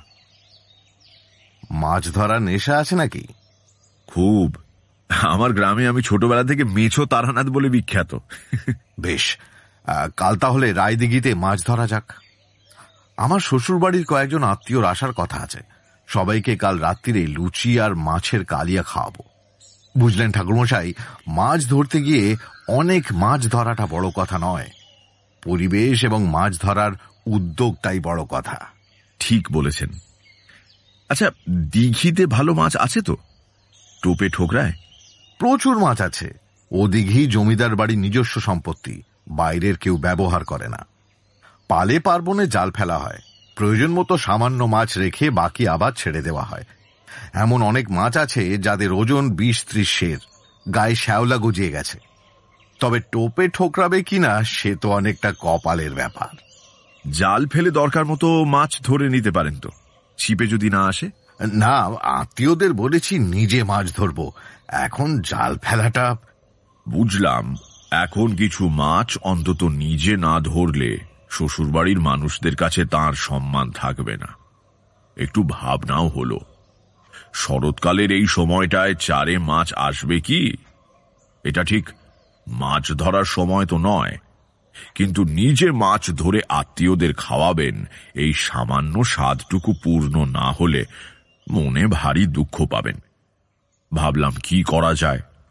বিকেলের ছায়া গাঢ় হয়ে এলে গ্রামের পথে একটু বেড়াতে বের হলাম। পথের বাঁকে এক জায়গায় একটা বড় আকন্দ গাছ প্রায় আমার মাথা ছাড়িয়ে লম্বা। বড় বড় চ্যাটালো ফ্যাকাশে সবুজ পাতায় ভরপুর প্রাণশক্তি প্রকাশিত হয়েছে। সে গাছ থেকে বুড়ো আঙুলের মতো মোটা আর কোড়ে আঙুলের মতো লম্বা কিছুটা ডাল ভেঙে কোমরে গুঁজে রাখলাম। যাক, কাজ অন্তত কিছু এগিয়ে রইল। সন্ধে গাঢ় হতে মুখুজ্জে বাড়ি ফিরে এলাম। দেউড়িতে বসে বাতির কাজ পরিষ্কার করছিল রঘু। তাকে বললাম হাতের কাজটা শেষ করে আমাকে একটা নরুন এনে দিতে পারো? আগে নরুন? নখ কাটবিন বুঝি? তা এত রাতে কেন? কাল সকালে নরিন পলামানিককে পাঠিয়ে দেব কোন? কাউকে পাঠাতে হবে না। তুমি একটা নরুন আমাকে দিয়ে যাও। কিছুক্ষণ পরে রঘু অতিথিশালার ঘরে এসে একটা চকচকে নরুন দিয়ে গেল। রাত্রিরে খাওয়ার পর বসে বসে নরুন দিয়ে আকন্দ গাছের ডাল থেকে একটা ছোট্ট গণেশ মূর্তি কুঁদে বের করলাম। আকন্দ কাঠ নরম, তাই অসুবিধে হলো না। দেখতে বেশ ভালোই হলো। নায়েব মশাইকে বলেছিলাম একটা নীলের বড়ি আমাকে জোগাড় করে দিতে। উনি লেখার কালি বানাবার একখানা বড়ি এনে দিয়েছিলেন বিকেলে। মাটির ভাঁড়ে কুজো থেকে জল ঢেলে তাতে বড়ি গুলে গাঢ় নীল কালি বানিয়ে গণেশ মূর্তি চুবিয়ে রাখলাম কিছুক্ষণ। তুললাম যখন আকন্দ কাঠ রং টেনে কটকটে নীল হয়ে গিয়েছে। আচ্ছা নীল গণেশ দিয়ে কি হয়? নীল গণেশ খুব শুভকারী দেবতা। সঠিক আরাধনা করতে পারলে তাকে দিয়ে করানো যায় না এমন কোনো কাজ নেই। যাই হোক পরদিন সকালে জল খাবার খাওয়ার পর মুকুজ্জে মশাইয়ের ডাক এলো। সরঞ্জাম তৈরি, এবার মাছ ধরতে যাওয়া হবে। কাছারি বাড়ির সামনে দেখি দেবদর্শন ব্যস্ত হয়ে কর্মচারীকে কি করতে হবে বোঝাচ্ছেন। একজন ভৃত্য পাঁচ ছ গাছা ছিপ নিয়ে দাঁড়িয়ে মাটিতে ছড়িয়ে রয়েছে নানা মাপের কৌটো আর ভাঁড়। তা থেকে মনোমুগ্ধকর সব গন্ধ বের হচ্ছে। হঠাৎ সম্মিলিত গলার কোলাহল শুনে দেখি কয়েকজন ভদ্রলোক নিজেদের মধ্যে কথা বলতে বলতে এদিকে আসছেন। বুঝলাম এরাই দেব দেবদর্শনের শ্বশুরবাড়ির আত্মীয়। এদের সামনেই তিনি মাছ ধরে দেখাতে চান। দিঘির ধারে পৌঁছলাম। রানী দিঘি সত্যি একটা বিরাট জলাশয়। এপারে দাঁড়ালে ওপারে লোক ঠাহর হয় না। কেমন চমৎকার জায়গাটা বলুন। এ তো বিরাট দিঘি। এপার থেকে ওপারে দাঁড়ানো মানুষকে তো ভালো করে চেনাই যাচ্ছে না। হুম। এখন মৎস্য দেবতা তুষ্ট হয়ে চার খেলেই মুখ রক্ষে। ছুপ ছুপ শব্দ করে জলে চার ছড়াচ্ছেন দেবদর্শন। গন্ধে চারিদিক মম করছে। পুরুষটু কেঁচো দিয়ে টোপ গাঁথা হলো। শক্ত মুঠোয় ছিপ ধরে তীক্ষ্ণ চোখ করে বসলেন বটে কিন্তু জমিদার মশাই আজ কতটা সফল হবেন সে বিষয়ে আমার যথেষ্ট সন্দেহ রইল। গত কুড়ি বছর ধরে মাছ ধরে আসছি। শরতের সকালে টোপে মাছ ঠোকরাতে খুব একটা দেখিনি। দেবদর্শন আমার দিকে তাকিয়ে বললেন ঠাকুরমশাই আপনিও একটা ছিপ নিয়ে বসে যান না শুধু দেখবেন কেন? না আজ আপনি ধরুন। আজ আর হাত লাগাতে ইচ্ছে করছে না। মাছ ধরতে ইচ্ছে করছিল না এমন নয়। কিন্তু ভাগ্য বসে। ওর বদলে আমার ছিপে মাছ উঠলে উনি দুঃখ পেতেন। আমি দেবদর্শনের পেছনে একটা কলা পাতা পেতে বসে পড়লাম। যা আশঙ্কা করেছিলাম তাই ঘটতে চলল। অনেকক্ষণ অপেক্ষা করেও একটা মাছও চারে এলো না। কি হলো বলুন তো ঠাকুরমশাই? তারা সব গেল কোথায়? দুপুরের খাওয়ার সময় হয়ে গেল। মাছেদের অস্তিত্ব আছে বলেই মনে হয় না। এক সময় ছিপ গুটিয়ে রেখে উঠে দাঁড়িয়ে দেবদর্শন বললেন আহ, চলুন খেয়ে আসা যাক। তারপর আবার বসা যাবে। ততক্ষণে চার আর একটু জমুক। হ্যাঁ হ্যাঁ সেই ভালো। ও মনে হয় আজ তারা আর চারা খাবে না। বুদ্ধিমান হয়ে গেছে সব। দেবদর্শনের মুখ একটু ছোট। নিচু স্বরে বললাম চিন্তা নেই খেয়ে এসে বসুন। পাবেন। দেবদর্শন চমকে আমার দিকে তাকালেন। মুখে কিছু বললেন না। আমি একটু হাসলাম। খাওয়ার পরেই আর দেরি না করে আবার রানী দিঘির পাড়ে ফিরে আসা হলো। ছিপ মুঠো করে বসে গেলেন দেবদর্শন। আর চোখে তাকিয়ে দেখলাম, জমিদার মশাইয়ের সব আত্মীয়রা এখনও এসে পৌঁছয়নি। যারা এসেছেন, তারা নিজেদের মধ্যে কথাবার্তা বলছেন। এদিকে কারোর তেমন মনোযোগ নেই। আমি ধুতির ভাঁজে লুকিয়ে রাখা নীল গণেশের মূর্তিটা বের করে মনে মনে বললাম, সীতার্ক নির্মিতং গণনাথং পঞ্চান্তকং ওম মন্তরিক্ষায় স্বাহা। মন্ত্রোচ্চারণ করেই দেবদর্শনের মাথার ওপর দিয়ে দিঘির জলে ছুঁড়ে দিয়ে বললাম, আরে, কে কি ফেলল জলে? এ হে মাছ পালিয়ে যাবে যে। এতক্ষণে হয়তো চাঁদ একটু জমে আসছিল। ভাবনা নেই। আমি একটা জিনিস ফেলেছি। আ- আপনি? সে কি? কি জিনিস? ঘুরে বসুন। ঘুরে বসুন মুখুজ্জে মশাই। বাঁদিকে ছিপের ফাতলা কাঁপছে। বড় মাছ কেঁথেছে। দু তিনবার কেঁপে ফাতনা একেবারে নিতিল হয়ে গেল। হর্ষধ্বনি করে আত্মীয়ের দল উঠে দাঁড়াল। ধনুকের মতো বেঁকে গিয়েছে ছিপ। মাছ ছুটেছে দিঘির উত্তর পশ্চিম কোণ লক্ষ্য করে। কিরকির আওয়াজ করে ঘুরে যাচ্ছে উইল। প্রায় পৌনে এক ঘণ্টা খেলবার পর উইল গুটিয়ে ঘাটের কাছে মাছটা টেনে আনলেন দেবদর্শন। তার গা বেয়ে ঘাম ঝরছে, কিন্তু মুখ উজ্জ্বল। বড় মাছ গেঁথেছে এ খবর রটে যাওয়ায়, রানী দিঘির পাড়ে ভিড় জমে গিয়েছে। অনেকক্ষণ লড়ে, যদিও মাছটা নির্জীব হয়ে পড়েছে, তবু জলের ভেতরে ও জিনিস বাঘের মতো শক্তি ধরে। রঘু এবং আরও তিনজন লোক জলে নেমে পাঁজা কোলা করে জাপটে মাছটা ওপরে তুলে এনে ঘাটের পৈঠায় শুইয়ে দিল। চোদ্দ পনেরো সের ওজনের বিশাল লালচে রুই, একটা বাছুরের মতো বড়। সবাই নানা রকম প্রশংসা সূচক কথা বলছে। আমি তাকিয়েছিলাম দেবদর্শনের দিকে। তিনি ভারী খুশি হয়েছেন। মানুষটির মনের মধ্যে কোনো ঘোর প্যাঁচ নেই। এইটুকু কৃতিত্বেই ভদ্রলোক তৃপ্ত। বললাম, এতে হবে তো? না আরেকখানে ধরবেন? না না, এতেই খুব হয়ে যাবে। আজ তো কেবল বাড়ির লোকজন আর এরা। সব মিলিয়ে ধরুন ত্রিশ জন। মুড়ো আর আঁশটাস বাদ দিয়ে যদি দশ কি এগারোশের মাছও পাই তাহলেও ভেসে যাবে। আর ধরা উচিত হবে না। কোনো কিছুর অপচয় করতে নেই। সুন্দর মাছটা হ্যাঁ? বলুন ঠাকুরসাই এর মুড়োটা কিন্তু আজ আপনাকে খেতে হবে। সে কি? আমি কেন? নিয়ম জানেন না? মাছ যে ধরেছে মুড়ো তাকেই খেতে হয়। সেই জন্যই তো মুড়োটা আপনি খাবেন। আমরা দুজন কয়েক মুহূর্ত পরস্পরের দিকে তাকিয়ে রইলাম। তারপর আমি হেসে বললাম, বেশ তো, মুড়ো খেতে হয় খাব, কিন্তু মাছটা আপনি ধরেছেন। লক্ষ্মী পুজো এসে গেল। দুপুরের পর থেকে সব মেয়েরাই বসে গেলেন পুজো দালানের মেঝেতে চাল বাটা দিয়ে আলপনা দিতে। পরিষ্কার মেঝেতে যেন জাদু বলে ফুটে উঠছে ছোট ছোট কুটির তার দুপাশে কলা গাছ। সামনে সরু পথ সে পথে লক্ষ্মীর পায়ের ছাপ আঁকা। তাছাড়া ধানের গোলা, ধানের ছড়া, পাশেই বসে রয়েছে গম্ভীর মুখওয়ালা পেঁচা বড় বড় কানওয়ালা সে পেঁচারা আসল পেঁচার চাইতেও দেখতে অনেক ভালো। একসময় সূর্য অস্ত গেল।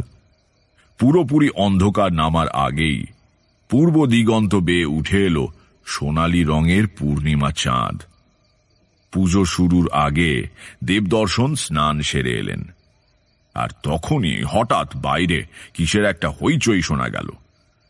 ঘরে এসে ঢুকল রঘু নায়েব মশাই এবং আরও কয়েকজন। তারা সবাই খুব উত্তেজিত। সবাই একসঙ্গে কি একটা বলতে চাইছে। কি হয়েছে? কি ব্যাপার? হুজুর ভূষণ রায় ভূষণ রায় এসছে। দাসে এসেছে তো। ভিড়ের পেছন থেকে এগিয়ে আসে ভূষণ রায়। সেও উত্তেজনায় হাঁপাচ্ছে। রাজা বাবু রাজা বাবু অবাক কাণ্ড ঘটে গেছে। অবাক কাণ্ড।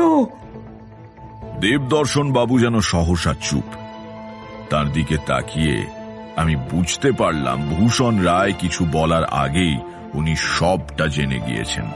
রাজাবাবু রাজাবাবু আপনি আপনি বিলিতি ডার্বি সেকেন্ড প্রাইজ পেয়েছেন। আশি হাজার টাকা। একটু আগে টেলিগ্রামে খবর এসেছে। বলতে বলতে ভূষণ রায় উত্তেজনায় কাঁপতে কাঁপতে মাটিতে বসে পড়ে দুই হাতে নিজের মাথা ধরে রইলেন। হঠাৎ দেখলে মনে হবে তিনি এক্ষুনি একটা ভয়ানক খারাপ খবর পেয়েছেন।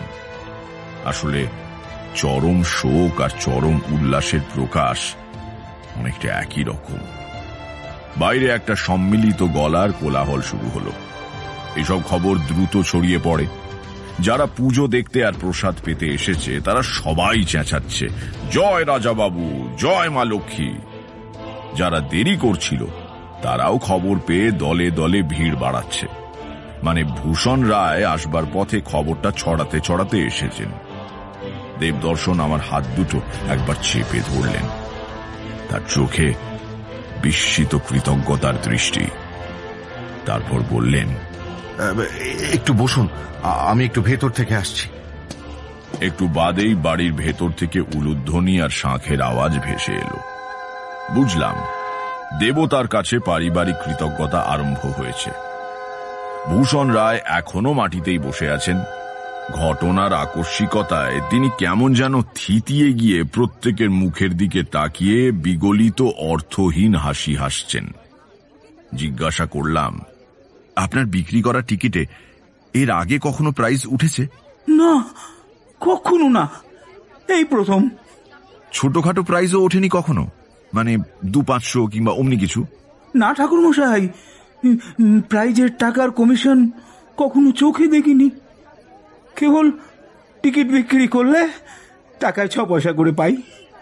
এই টাকা থেকে আপনি কত পাবেন? কোম্পানি থেকে বেশি নয় ওই বেশিরভাগটাই নিয়ে নেবে কলকাতার যে আসল এজেন্ট সে। আমাকে হাজার দুয়েক দেবে বোধ কি আর করব? যা দেয় তাই অনেক। তবে রাজা বাবু মানুষ খুব ভালো। উনি কি আর কিছু দেবেন না? নিশ্চয়ই দেবেন। উনি উনি আমাকে ভালোবাসেন। দেবদর্শন ভেতর থেকে ফিরে এলেন। তক্তাপোষে তাকিয়া হেলান দিয়ে বসে প্রথমেই বললেন ভূষণ এর থেকে পাঁচ হাজার টাকা আমি তোমাকে দেব। তোমার জন্যই তো প্রাইজটা পেলাম। আমার জন্য নয়। এ- এই যে এই যে এই ঠাকুর মশাইয়ের জন্য আমার টিকিটে কিছু পেতেন না এই- ইনি ইনি বেছে দিয়েছিলেন বলেই। উপস্থিত লোকেরা টিকিট পছন্দ এবং বদলানোর ব্যাপারটা কিছুই জানে না। তারা একটু অবাক হয়ে তাকিয়ে আছে। কিন্তু ভূষণ রায় গপ্পের লোক। বুঝলাম কিছুক্ষণের মধ্যেই টিকিট বদল করে দেবার ঘটনাটা চারিদিকে ছড়িয়ে পড়বে। এও বুঝলাম যে হয় কাল নয় পরশু সকালে আমাকে এই গ্রাম ছেড়ে চলে যেতে হবে। ভূষণ রায়ের গল্প শুনলেই মানুষের স্রোত শুরু হবে। কারও সন্তান হয়ে বাঁচে না, কারও অম্লশূলের ব্যথা, কারও ভাই মামলা করেছে, কেউ বা আবার হঠযোগ শিখতে চায়। পালানো ছাড়া গতি নেই। দেবদর্শন বাবু সকলকে আবার পুজোর দিকে যেতে বললেন। রঘু ও রাজাবাবু বিশ্রাম নেবেন বলে জায়গা খালি করে দিল। জিজ্ঞেস করলাম, কি? কেমন লাগছে? টাকাটা তাহলে পাইয়েই দিলেন ঠাকুরমশাই। আমি কেন? টিকিট বিক্রি করেছে ভূষণ রায় কিনেছেন আপনি। ঘোড়া দৌড়েছে বিলেতে আর খবর এসেছে ডাক বিভাগের টেলিগ্রামে। আমি কি করলাম? ও সব কথা থাক। আপনি কি করেছেন তা তো আমি জানি। কেবল কয়েকটা জিনিস ঠিক বুঝতে পারছি না। যেমন? আবছা আবছা বুঝতে পারছি অমর জীবনের ছড়ার সঙ্গে টিকিটের নম্বরের একটা কিছু যোগ আছে। নইলে ভূষণ রায়ের পছন্দ করে দেওয়া টিকিট আপনি বদলেই বা কেন দিলেন? ছড়াটার মানেটাই বা কি? মুখুজ্জেমশাই অমর জীবন ছড়ার মধ্যে যে সংকেত ব্যবহার করেছিল, সেটা একটা পুরনো ধাঁধা। আমাদের ছোটবেলায় দেশে, ঘরে খুব প্রচলিত ছিল। নানা রকম চেহারায় এই ধাঁধা বাসর ঘরে কিংবা বাড়িতে জামাই এলে তাকে ঠকানোর জন্য ফিরে ফিরে দেখা দিত। ছোটবেলার ধারাপাত পড়েছেন তো? তো ধারাপাতের প্রথম দিকে একে চন্দ্র দুইয়ে পক্ষ কবিতাটা মনে পড়ছে কি? অমর জীবনের ছড়ার মূল সংকেত ওই ধারাপাতের কবিতা। বুঝতে পারছি না ঠাকুরমশাই। আরেকটু খুলে বলবেন? কবিতাটা মনে করুন। দিকে দিকে সাগরেতে ভাই চোখে চোখে চাঁদ খুঁজে পাই। দিক কখানা, চারটে তো। পূব, পশ্চিম, উত্তর, দক্ষিণ। তাহলে দুবার দিক অর্থাৎ চার চার, ঠিক আছে? পরের কথা, সাগরেতে। সাগর কটা? না সপ্ত সমুদ্র তাহলে এ পর্যন্ত কি হলো? দিক দিক, সাগর, চার চার, সাত। পরের লাইনে ছড়াই বলেছে, চোখে চোখে চাঁদ খুঁজে পাই। তিনে নেত্র, অর্থাৎ পরপর দুটো তিন হবে। আর চাঁদ তো একটাই। কাজেই পুরো সংখ্যাটা দাঁড়াল চার চার সাত তিন তিন এক। আপনি এর চারখানা আগের নম্বরে টিকিট নিচ্ছিলেন। নিলে একটুর জন্য প্রাইসটা হাতছাড়া হয়ে যেত। আমি কেউ নাম গুজ্জে মশাই পুরস্কারটা আপনার ভাগ্যই পাইয়ে দিয়েছে অমর জীবনের মাধ্যমে। ঠাকুরমশাই এই অমর জীবন কে? আম, জানি না মুখুজ্জে মশাই এ প্রশ্ন আপনি আগেও করেছেন। উত্তর জানা থাকলে আমারও আনন্দ হতো। মুখুজ্জে মশাই কিছু কিছু প্রশ্নের উত্তর না জানাই থাক না। তাতে জীবন সরস থাকে, জীবনে বিশ্বাস থাকে, আনন্দ থাকে। সব জেনে ফেলতে নেই।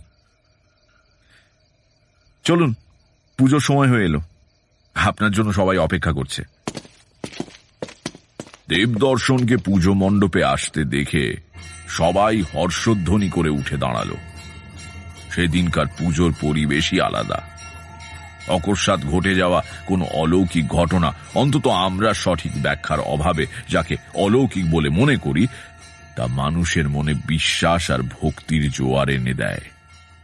সেদিনও তাই হয়েছিল। আরে তাতে আর অন্যায় কি? রোজকার জীবনে যা ঘটে না, তেমন অদ্ভুত কিছু চোখের সামনে ঘটতে দেখলে মানুষ তো আপ্লুত হবেই, তাই না? সাধারণভাবে কথাটা ঠিক কিন্তু ওই বিশ্বাস আর আবেগের প্রকৃত কোনো মূল্য নেই। কেন? এ কথা বলছেন কেন? হয়তো আশ্চর্য বা অলৌকিক কিছু দেখে বিশ্বাস বা ভক্তির ভাব জেগে উঠেছে কিন্তু তাতে ওই বিশ্বাস কি মিথ্যে হয়ে যাবে? মিথ্যে হয়ে যাবে এমন কথা বলছি না কিন্তু সরল বিশ্বাসের মূল্য তার সারল্যেই। কিছু পাব বলে আমরা ঈশ্বরে বিশ্বাস করি না। ঈশ্বরে বিশ্বাস করতে ভালো লাগে বলেই তা করি। যদি কেউ অন্যরকম করে তবে তার দোকানদারি। বাবার সম্পত্তি পাবো তাই বাবাকে ভালোবাসি এ কেমন কথা? আলোচনার গতি দেখে ভেতরে ভেতরে ক্রমাগত উদ্বিগ্ন হয়ে উঠছিলাম। তাড়াতাড়ি আলোচনা থামাতে বললাম সে তো ঠিকই খুব ন্যায্য কথা। যাই হোক অমর জীবন রহস্য কি শেষ পর্যন্ত ভেদ হয়েছিল? না। অমর জীবন কাহিনী এখনও চলছে আমার জীবনে। একটু বিস্মিত হয়ে তারানাথের দিকে তাকালাম। সে এ প্রসঙ্গে আর কিছু বলল না বটে। কিন্তু কেমন করে যেন স্পষ্ট বুঝতে পারলাম সে কি বলতে চায়। মানব সভ্যতার ইতিহাসের সঙ্গে বোধ করি অমর জীবনের গল্পটা মিশে রয়েছে। হঠাৎ কোথাও তো তা শেষ হবার নয়। বললাম এই গল্পের তাহলে এখনও অনেক বাকি? অনেক। আজকে তো শেষ হবেই না। যতদিন বাঁচবো, একটু একটু করে বলে গেলেও শেষ হবে না। তা সে যাই হোক। আপাতত দেবদর্শন মুখুজ্জের অংশটুকু বলে শেষ করি। তারপর আবার আরেক দিন হবে। তোমরা পানি ফল তো খেয়েছ নিশ্চয়ই। পুকুরে পানি ফলের ঝাঁক দেখেছ কখনো? আপনি এমন হঠাৎ হঠাৎ কথার গতির পরিবর্তন করেন যে থই পাওয়া যায় না। পানি ফলের ঝাঁক দেখব না কেন? দেখেছি। আমারও তো গ্রামের বাড়ি। কিন্তু হঠাৎ পানি ফলের কথা কেন? পানি ফলের ঝাঁক অর্ধেক পুকুর ছেয়ে থাকে।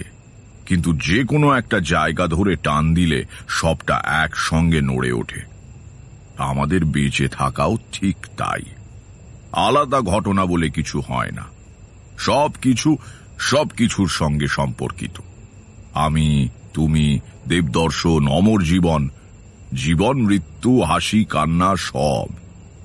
তোমাদের এখনও বয়স অল্প। পরে নিজেরাই সব বুঝবে। ছাইদানি হিসেবে ব্যবহৃত নারকেলের মালায় সিগারেটের শেষটুকু গুঁজে দিয়ে তারানাথ আবার শুরু করল। পূর্ণিমার আলোয় চারদিক ভেসে যাচ্ছে। তেমন জ্যোৎস্না তোমরা শহরে কখনো দেখবে না। পাখিরা সকাল হয়ে গিয়েছে মনে করে ডাকতে আরম্ভ করে। ঈষৎ শীত শীত ভাব পরিবেশে অথচ পুরো ঠান্ডা পড়েনি। এখানে ওখানে কাশের গুচ্ছ, চাঁদের আলোয় দেখাচ্ছে যেন রূপোর মেঘ। মুকুজ্জে বাড়ির বাঁদিকে নদীতে যাবার পথের মুখে একটা পুরনো ভাঙা মন্দির। জ্যোৎস্নায় দেখাচ্ছে যেন হালকা জল রঙে আঁকা ছবি।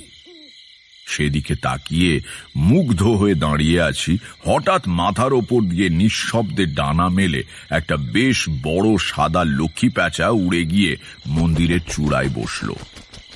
মন্দিরটা মুকুজ্জে পরিবারের পূর্বপুরুষদের প্রতিষ্ঠিত। বর্তমানে আর্থিক কারণে কিছু ভগ্ন দশাপ্রাপ্ত হলেও একজন পুরোহিত সেখানে নিত্য পুজো করতে আসেন। সন্ধেবেলায় আরতি হয়। মন্দিরের প্রতিষ্ঠিতা দেবী বিশালাক্ষী। কালো পাথরের মূর্তি, ভারী প্রশান্ত মুখ। ঠিক আজকের দিনেই বংশের অধিষ্ঠাত্রী দেবীর মন্দিরের ওপর লক্ষ্মী প্যাঁচার উড়ে বসাটা একটা সুলক্ষণ। মৃদু পায়ের আওয়াজ শুনে পাশে তাকিয়ে দেখি কখন দেবদর্শন এসে দাঁড়িয়েছেন। হাত জোর করে প্রণাম করছেন মন্দিরের দিকে মুখ করে। তার মুখ উদ্ভাসিত। বললাম, প্রণামটা কি প্যাঁচাকে? না, দেবীকে। তবে ঈশ্বরের প্রকাশ সর্বজীবেই প্যাঁচাকে প্রণাম করলে অন্যায় কি? অন্যায় আর কি। যে স্তরে উঠলে ওই উপলব্ধি হয় সেখানে পৌঁছলে সবাই সমান। আর পেঁচা প্রাণীটিও বেশ সুন্দর। পুজো মণ্ডপে বেজায় ভিড় জমেছে। আপনাকেও দেখতে পেলাম না। ঠিক বুঝেছি আপনি এখানে এসে দাঁড়িয়ে আছেন। তাই চলে এলাম। কি অপূর্ব জ্যোৎস্না ফুটেছে দেখছেন? এই দেখো ইনি আবার একা চললেন কোথায়?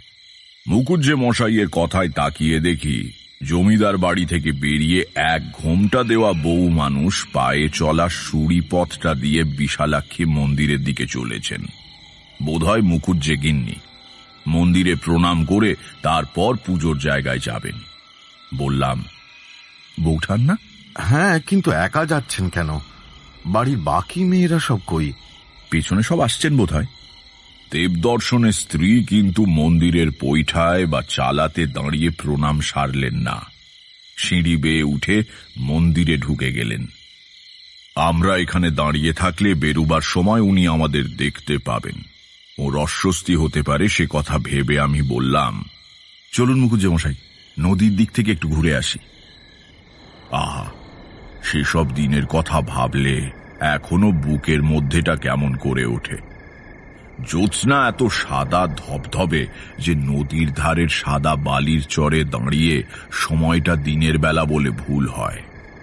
খুব হালকা বাতাসে চরে গজিয়ে ওঠা কাশগুচ্ছ দুলছে। কটকট করে ডাকছে কি একটা নিশাচর পোকা। বয়স তখন অল্প, পৃথিবী বিশাল, শরীর নিরোগ, প্রকৃতি সুন্দর। ঈশ্বর তার সিংহাসনে আসীন। এবং দুনিয়ার সব কিছু ঠিকঠাক চলছে। তখন অমর ছিলাম। পৃথিবীতে কোনো গ্লানি ছিল না। কালো রং ছিল না। বুক ভরা অকারণ আনন্দ ছিল। মৃত্যু ছিল আবছা জনশ্রুতি। সে বাংলাও আর নেই। আমার এই কথাকে জীবনের পেছন দিকে তাকিয়ে প্রৌঢ়ের স্বাভাবিক হাহাকার মনে করো না কিন্তু। তখন দিনকাল সত্যিই অন্যরকম ছিল। মনের ভেতরের সেই আনন্দ মিশিয়ে শরৎ রাত্রি অপরূপ হয়ে উঠত। কাশ ফুলে ঢাকা, জ্যোৎস্না মাখা সাদা বালির চরে দুজন বেশ কিছুক্ষণ পাইচারি করলাম। ফেরবার সময় আমাদের ডান দিকে বাঁশ ঝাড়ের পাশে বিশালাক্ষী মন্দিরটা পড়ল। তার ওধারে মুখুজ্জে বাড়ি আর বাঁ দিকে পথ থেকে একটু ভেতরে পুজো মণ্ডপ। পুজোর জায়গায় ঢোকবার মুখে দেবদর্শন থমকে দাঁড়িয়ে নিজের বাড়ি থেকে আসার পথের দিকে তাকিয়ে অবাক গলায় বললেন এ কি? এদের আজ কি হলো? বারবার কোথায় যাওয়া আসা করছে? তাকিয়ে দেখলাম মুকুজ্জে গিন্নি বাড়ির অন্য মেয়ে বউদের সঙ্গে চলেছেন পুজো মণ্ডপে। মানে তিনি বিশালাক্ষী মন্দিরে প্রণাম করে বাড়ি ফিরে গিয়েছিলেন। এখন আবার সবাইকে নিয়ে পুজো দেখতে যাচ্ছেন। ওদিকে পুজো শেষ হয়ে গেল।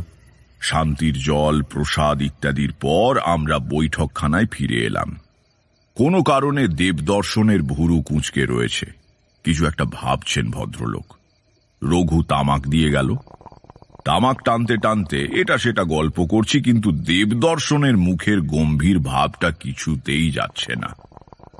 হঠাৎ উনি বললেন, ঠাকুরমশাই আমার স্ত্রী যখন প্রথমবার একা বিশালক্ষীর মন্দির প্রণাম করতে যাচ্ছিলেন তখন তার হাতে কিছু ছিল কি? হাতে? আমি তো ঠিক দাঁড়ান একখানা ডাঁটাওয়ালা পদ্ম ছিল বোধ হয় তাই না? আর দ্বিতীয়বার? তখন তো হাতে পুজোর ডালা ছিল। কেন? এই প্রশ্ন করছেন কেন? তাহলে পদ্মটা উনি কোথায় রেখে এলেন? ডালাতেই রাখা ছিল হয়তো। পাশ থেকে দেখা যায়নি। তাই? তা হবে হয়তো। অন্ধকারে বুঝতে পারেনি। নইলে আর যাবে কোথায়? মানুষের একটা না একটা বাতিক থাকেই।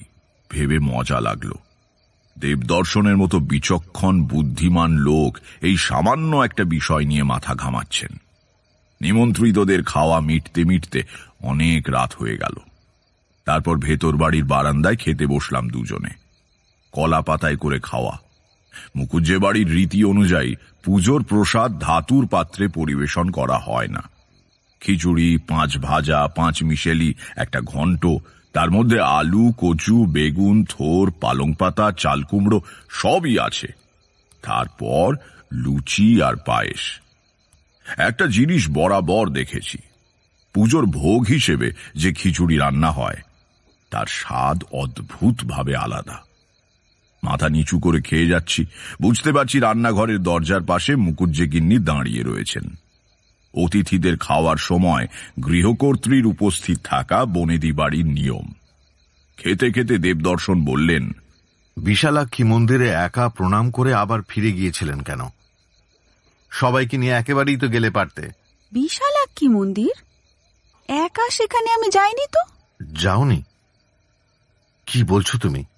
ঠিকই বলছি। বাড়ির মেয়েরা মিলে যখন পুজোর জায়গায় যাচ্ছিল তখন তো তোমার সঙ্গে দেখাই হলো। তুমি আর ঠাকুর মশাই মিলে নদীর ধারের পথ দিয়ে ফিরছিলে। আমাদের দেখে বাঁশঝাড়ের তলায় দাঁড়িয়ে ওকে যেন কি বললে।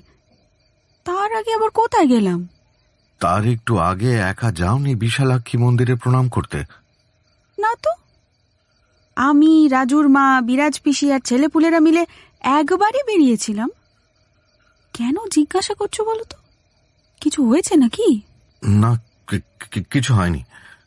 কিন্তু আমি যে স্পষ্ট মানে তোমার হাতে একটা মুখুজ্জে মশাই সেসব কথা পরে হবে খন চাঁদের আলোয় অত ভালো করে কিছু দেখা যায় না। কাকে দেখতে কাকে দেখেছেন? ঠাকুরমশাই কিন্তু আপনি যে খেয়ে নিন। খেয়ে নিন পরে কথা হবে।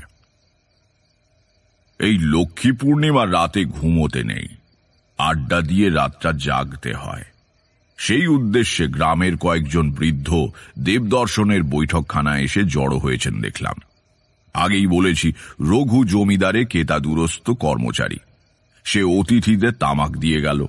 তাকিয়ায় হেলান দিয়ে তারা জমিয়ে বসলেন। দেবদর্শনও বসতে যাচ্ছিলেন, আমি বললাম মুকুজে মশাই চলুন না, বাইরে একটু ঘুরে আসি। কি চমৎকার চাঁদের আলো ফুটেছে। তাছাড়া দেরি করে খাওয়া হলো তো হাঁটা চলা করলে হজম হবে। দেবদর্শন আমার কাণ্ডে অবাক হওয়া ছেড়ে দিয়েছিলেন। কোনো দ্বিধা না করেই রাজি হয়ে গেলেন। উপস্থিত অভ্যাগতদের বসিয়ে আমার সঙ্গে বেরোলেন। রাত তখন প্রায় আড়াইটে। রূপোর চাকার মতো চাঁদ পশ্চিম আকাশে হেলে পড়েছে বিশাল পাকুড় গাছের পেছনে। মৃদু হিমের ছোঁয়া বাতাসে। কি যেন কি কত কথা মনে পড়ে যায়। স্বার্থ, হিংসা আর হানাহানির মধ্যেও মনে হয় আকাশ মধু, বাতাস মধু। মনে হয় মৃত্যু আর অন্ধকার সত্য। কিন্তু তার চেয়েও বড় সত্য মুক্ত জীবনের আনন্দ। দেবদর্শন আমার দিকে তাকিয়ে আছেন। বললাম মুখুজ্জে মশাই কেবল লটারি টাকা পাওয়া নয় আপনার পরিবারের ইতিহাসে আজ একটা অদ্ভুত ঘটনা ঘটেছে। কি ঘটছে ঠাকুরমশাই? আসুন আমার সঙ্গে দেখাচ্ছি। দেবদর্শনকে নিয়ে বিশালাক্ষীর মন্দিরের দিকে এগিয়ে গেলাম। দেবদর্শন উদ্গ্রীব হয়ে আমার সঙ্গে আসছেন। যদিও আমি নিজেই জানি না ঠিক কি দেখাতে নিয়ে চলেছি। তবে আমি দেখেছি কোনো অলৌকিক প্রত্যক্ষণ বিষয়ে আমার অনুভূতি সচরাচর নির্ভুল হয়। বিশালাক্ষী মন্দির পর্যন্ত মাটির সুড়িপথটায় দেখার মতো কিছু নেই। তারপর থেকেই পথ ভাগ হয়ে একটা চলে গেল নদীর দিকে আর একটা পুজোর মণ্ডপের দিকে। এই দুই পথের সংযোগস্থলেই বিশালাক্ষী মন্দির। ভাগ হওয়ার জায়গাটা থেকে মন্দিরের দিকে এগোতেই চোখে পড়ল সারি সারি পায়ের ছাপ। সাদা রঙের কিছুতে পা ডুবিয়ে হাঁটলে যেমন হয় ঠিক তেমনি। বাড়ির মেয়েরা চাল বাটা কিংবা খড়ি মাটি গুলে যেমন মা লক্ষ্মীর পা আঁকে, অনেকটা সেরকম। পার্থক্য এই, পুজোর জন্য আলপনা হিসেবে আঁকা পায়ের ছাপ জোড়া জোড়া মানে পাশাপাশি হয়। দেখলে মনে হয় যেন কেউ কিছুক্ষণ সেখানে বিশ্রাম করার জন্য দাঁড়িয়েছিল। আর এই যা ছাপ দেখছি, এ নকল ছাপ নয়। এ হলো সত্যিকারের কোনো হেঁটে যাওয়া মানুষের পা। দুজনে নিঃশব্দে মন্দির পর্যন্ত হেঁটে গিয়ে দেখলাম, কেবল মন্দিরের গর্ভগৃহে ঢোকবার দরজার সামনে পায়ের ছাপ এক জোড়া। অর্থাৎ যার, তিনি এইখানে এক মুহূর্ত দাঁড়িয়ে বিশ্রাম করেছিলেন। সিঁড়ি বেয়ে আমরা দুজন মন্দিরের চাতালে উঠেছিলাম। শেষ জোড়া পায়ের ছাপের দিকে অবাক হয়ে কিছুক্ষণ তাকিয়ে থেকে আমার দিকে মুখ তুললেন দেবদর্শন। তার চোখে জল। ঠাকুরমশাই, আমি যা ভাবছি তা কি সত্যি? ঠিক তাই মুখুজ্জে মশাই শুধু আপনার নয়, আমার জীবনও ধন্য। পশ্চিম দিগন্তে হেলে পড়েছে চাঁদ, এবার রাত ফুরিয়ে আসছে। হেমন্তের শেষ রাত্রিরে আকাশ, বাতাস আর পৃথিবী যেন কেমন এক রূপকথার দেশে পরিণত হয়। বাঁশ পাতার ফাঁক দিয়ে আসা রাত্রি শেষের জ্যোৎস্না, ঈষৎ শীতের ছোঁয়া আর পুজো মণ্ডপ থেকে দেবী বাড়ি ফেরা লোকজনের গলার মৃদু গুঞ্জন পরিবেশকে অবাস্তব আর অপার্থিব করে তুলেছে। এখন প্রকৃতির সাধারণ নিয়ম আর বলবৎ নয়। এখন সব কিছুই ঘটতে পারে। মন্দিরের চাতালে দাঁড়িয়ে চোখ মুচ্ছেন দেবদর্শন। সব মানুষ ভাগ্যবান নয়।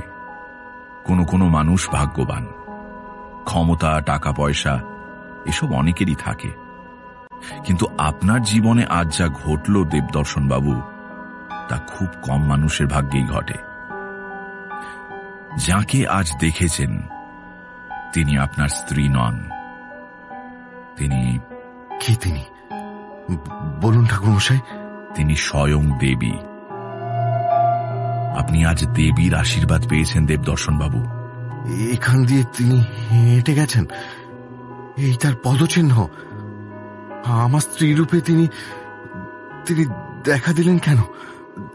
তো তবে তবে কি মায়েরা সকলেই দেবী মুখুজ্জে মশাই মাটির পিলসুজের ওপর মাটির তৈরি ঘিয়ের প্রদীপ জ্বলছে মন্দিরের ভেতরে।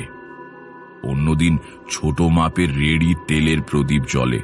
সেটিও পাশে রাখা আছে। সন্ধেবেলা নিত্য পুজোর পর জেলে দেওয়া হয়েছে। এখনও তা জ্বলছে।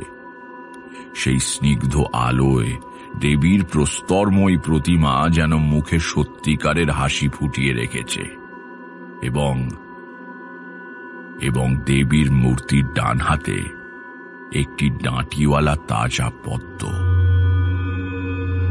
আমি এবং দেবদর্শন করজোড়ে দেবীকে প্রণাম জানালাম।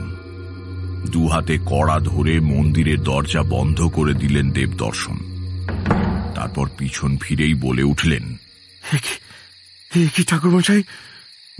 দেবীর পায়ের চিহ্ন কোথায়? এই তো এই চাতালেই ছিল, তার পায়ের চিহ্ন। সিঁড়ির ধাপে ছিল সুড়ি পথে কোথাও কোথাও কিচ্ছু তো নেই। তবে কি ভুল দেখলাম? সব ভ্রম হ্যাঁ? না মুখুজ্জেমশাই যা দেখেছি আমরা তা ভ্রম নয়। দেবী আমাকে আর গৃহস্বামীকে জানিয়ে দিতে এসেছিলেন যে তার আবির্ভাব ঘটেছিল।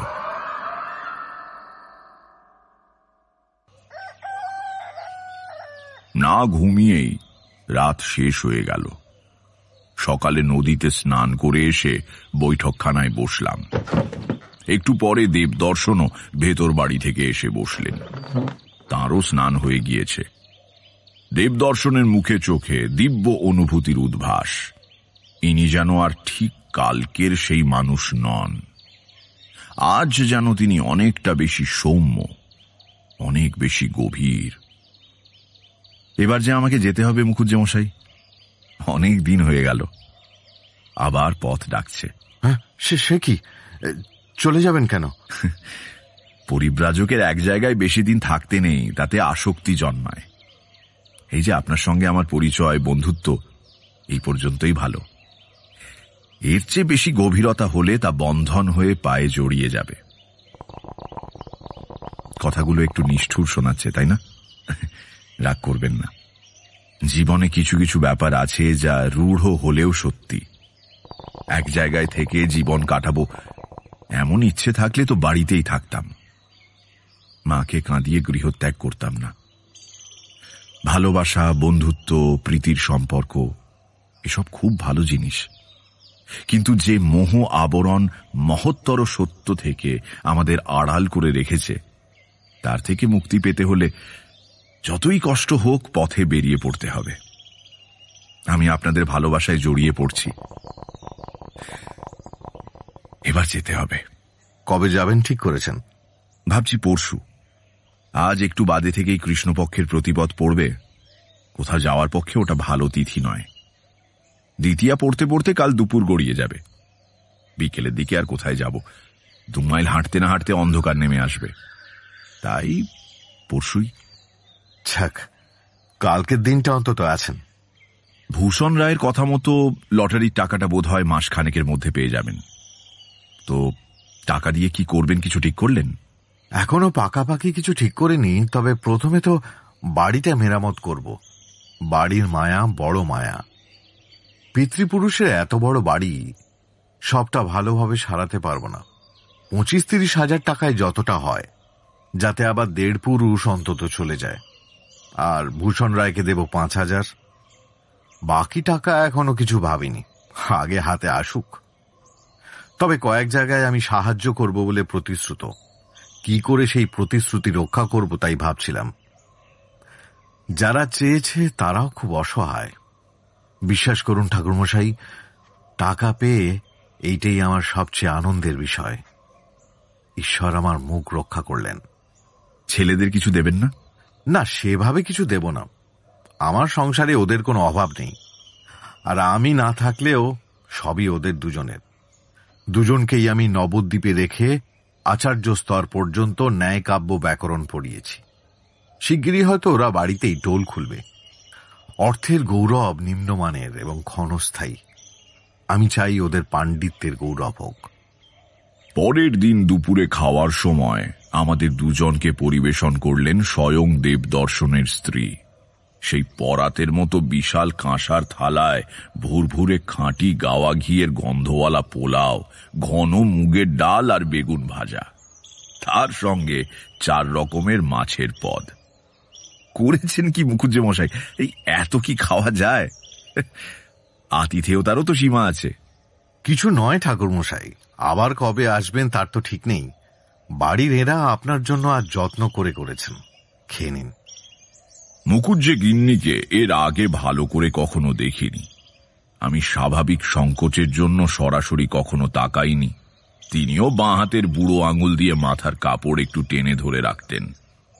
আজ খেতে খেতে কেন যেন মুখ তুলে হঠাৎ তার দিকে একবার তাকালাম। তাকিয়েই অবাক হয়ে গেলাম। পদ্ম পলাসাক্ষী কথাটা সংস্কৃতের দেবীদের স্তরে প্রচলিত আছে। বাংলার অখ্যাত এক পাড়াগাঁর পড়ন্ত জমিদার বধূর যে এমন দেবীর মতো আয়ত পদ্ম পলাশ লোচন হবে তা কে জানত? অতসী ফুলের মতো গায়ের রং, কোঁকড়া চুল, সূর্যের গোলকের মতো উজ্জ্বল সিঁদুরের টিপ আর তার নিচে গভীর মাতৃত্বের পরিপূর্ণ ওই দুটি টানা টানা বিশাল চোখ। হ্যাঁ জগদ্ধাত্রীর মতো রূপ বটে। তিনিও ক্ষণিকের জন্য আমার দিকে তাকিয়ে বাৎসল্যের মৃদু হাসি হাসলেন। পরক্ষণেই আমি লজ্জা পেয়ে চোখ নামিয়ে নিলাম। একটু দেরি করে হলেও সেদিন চাঁদ উঠল ভারী চমৎকার। নদীর ধারে বেরিয়ে বাঁশবনের পাশ দিয়ে বিশালাক্ষী মন্দিরের খোলা দরজা দিয়ে একবার দেবীকে প্রণাম করে মুকুজ্জে বাড়িতে এলাম। বৈঠকখানায় বসে তামাক খাচ্ছেন দেবদর্শন আসুন ঠাকুর মশাই ওরে রঘু এই ঠাকুর মশাইকে তামাক দিয়ে যা। বসুন বসুন। তাহলে আপনি কালই যাচ্ছেন। হ্যাঁ আগামীকাল এই সময় কোথায় আছি কে জানে? সত্যি মায়া পড়ে যাওয়ার আগেই আমার চলে যাওয়া উচিত ছিল। যাবেন তো কাল দুপুরে খাওয়া দাওয়া করে। তার এখনও একটা রাত আর একটা বেলা বাকি। এখন বলুন রাত্রিরে কি খাবেন? মাংস চলবে? ও কথাও এখন থাক। দুপুরে যা ঠেসে খেয়েছি রাত্রিরে আর খেতে পারব বলে মনে হয় না। রান্নাও হয়েছিল চমৎকার। সবই বুঝি বউ ঠাকুরনের রান্না? হ্যাঁ আজ প্রায় সব রান্নাই অতিথির জন্য বিশেষ করে আমার স্ত্রী রেঁধেছেন সবচেয়ে ভালো হয়েছিল পোলাওটা। গাওয়া ঘি আর মশলা সব দোকানেই পাওয়া যায়। সে যে কেউ কিনে আনতে পারে। কিন্তু সবাই কি এমন সুন্দর পোলাও রাঁধতে পারে? দেবদর্শনের আলবোলা টানার শব্দ হঠাৎ বন্ধ হয়ে গেল। আমার দিকে তাকিয়ে তিনি অবাক হয়ে বললেন পোলাও? কিন্তু আজ দুপুরে তো পোলাও রান্না হয়নি। কি বলছেন আপনি? আমি তো আপনার পাশে বসেই খেলাম। কেন? আপনি কি খেলেন? সাদা ভাত। চালটা অবশ্য খুবই ভালো ছিল রামচন্দ্রপুর থেকে আনা এক নম্বর বাসমতি। কিন্তু সে তো যত ভালোই চাল হোক পোলাও তো কোনো মতেই নয়। আপনি সাদা ভাত খেয়েছেন? অবশ্যই কারণ সাদা ভাত ছাড়া কিছুই রান্না হয়নি। বুঝলাম ঘটনাটা। হেসে বললাম, এবার পুজো সময়টা ভালোই কাটলো মুখুজ্জে মশাই শুধু টাকার কথা বলছি না। লটারিতে অর্থাগম প্রতি বছরই কারও না কারও হয়। কিন্তু এবার আপনি গড়ের তোপ শুনলেন। স্বয়ং দেবীকে পায়ের ছাপ ফেলে হেঁটে যেতে দেখলেন। আর আজকের এই পোলাওয়ের ব্যাপারটা। আর অমর জীবনের ব্যাপারটা? তার তো কোনো ব্যাখ্যা হলো না। কোথা থেকে এসেছিল সে? কোথায় বা গেল? কি বা তার পরিচয়? আপনি কি কিছু আন্দাজ করতে পেরেছেন ঠাকুরমশাই? আন্দাজ করতে হয়তো পেরেছি কিন্তু তার বেশি কিছু নয়। ঠিক বোঝাতে পারব না মুখুজ্জে মশাই এই সৃষ্টির রহস্য বড় বিচিত্র। সেই বৈচিত্র্যের একটা অংশ অমর জীবন। কেন এই পৃথিবী আকাশ বাতাস গ্রহ নক্ষত্র সৃষ্টি হয়েছিল সে কি কেউ জানে? তেমনি অমর জীবনের পরিচয় একটা আকস্মিক আবর্তের মতো হঠাৎ সেই সৃষ্টির ভেতর জেগে উঠেছে। তার কোনো কারণ নেই কোনো ব্যাখ্যা নেই। তবে এটুকু বুঝেছি তার অস্তিত্ব একটা বড় মাপের শুভ শক্তির প্রকাশ।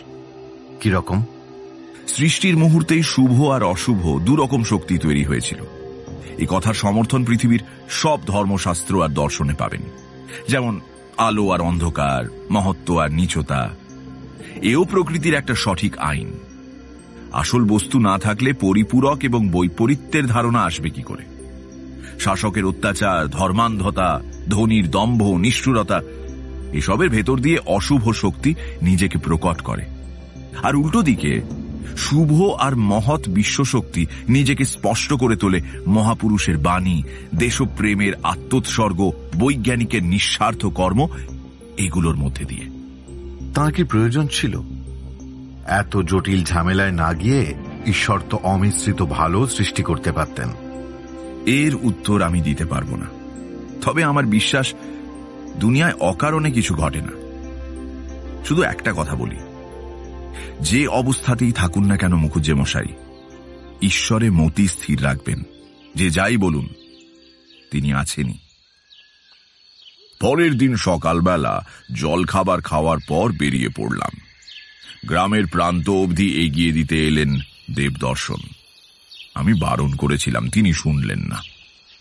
গ্রামের একেবারে শেষ সীমায় একটা মহা নিম গাছের তলায় দাঁড়িয়ে তাকে বললাম, আর নয় এবার আপনি ফিরে যান। আবার দেখা হবে। দেখা হবে বলছেন? হ্যাঁ হবে। আর যদি কোনো কারণে আমাকে খুব প্রয়োজন হয় তাহলে তাহলে নির্জনে কোথাও দাঁড়িয়ে মধুসুন্দরী দেবীর নাম উচ্চারণ করে একান্তভাবে আমার দেখা পেতে চাইবেন। যেখানেই থাকি না কেন আমি ঠিক জানতে পারব। ব্যাস এতেই হয়ে যাবে। আপনি জানতে পারবেন? হ্যাঁ। মধুসুন্দরী দেবীকে তিনি আমার আরাধ্যা। কি করে আপনার ডাক শুনতে পাবো আমাকে জিজ্ঞেস করবেন না কারণ আমিও তার উত্তর জানি না। আর পেছনে না তাকিয়ে হাঁটতে শুরু করলাম। গল্প থামিয়ে তারানাথ আমাদের দিকে তাকিয়ে বলল আজ এই পর্যন্ত থাক। সামনে যেদিন আসবে সেদিন আবার কিছুটা বলা যাবে। থাক মানে? আর দেখা হয়েছিল দেবদর্শন বাবুর সঙ্গে? সে কথা অন্যদিন অবশেষে আরেক রাউন্ড চা আর মট লেনের মোড়ের উড়িয়া তেলে ভাজাওয়ালার গরম গরম তেলে ভাজার পর তারানাথ আমাদের জোড়াজড়িতে বাধ্য হয়ে আরেকটা সিগারেট ধরিয়ে আবার শুরু করল। আচ্ছা শোনো। জয়তলা গ্রাম থেকে তো বিদায় নিয়ে চলে এলাম। বড় ভালো লেগেছিল মুখুজ্জে বাড়ির আতিথ্য স্বয়ং মুখুজ্জে মশাইকে বেশ কিছুদিন তাদের কথা প্রায় মনে পড়ত। তারপরে যা হয়, একটা মাত্র জিনিস নিয়ে মানুষের মন ব্যাপৃত থাকতে পারে না। ধীরে ধীরে অন্য সাম্প্রতিক ঘটনা এসে সে জায়গা দখল করল। কত জায়গায় বেরিয়ে বেড়ালাম, কত অদ্ভুত চরিত্র দেখলাম। বছর কেটে গেল অনেক। একদিন ঘরের ভেতর বসে কোষ্ঠী তৈরি করছি। সময়টা সকাল দশটা মতো হবে।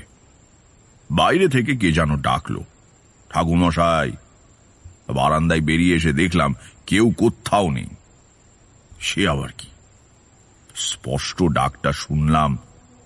কীরকম হলো ব্যাপারটা? অবাক হয়ে খানিকক্ষণ দাঁড়িয়ে থেকে ঘরের মধ্যে ফিরে এসে বসতে না বসতেই আবার সেই ডাক। ঠাকুর মশাই এবার আর বাইরে বেরোলাম না। আমি বুঝতে পেরে গেছি বেরিয়ে কাউকে দেখতে পাবো না। তার চেয়ে বড় কথা, যে ডাকছে, তার গলার স্বরটা আমার বড় চেনা। যদিও সে সময় কিছুতেই ঠিক করতে পারলাম না, কার গলা সেটা। সেদিন রাত্রিরে শুয়ে স্বপ্ন দেখলাম, আমি যেন আবার জয়তলা গ্রামে ফিরে গিয়েছি।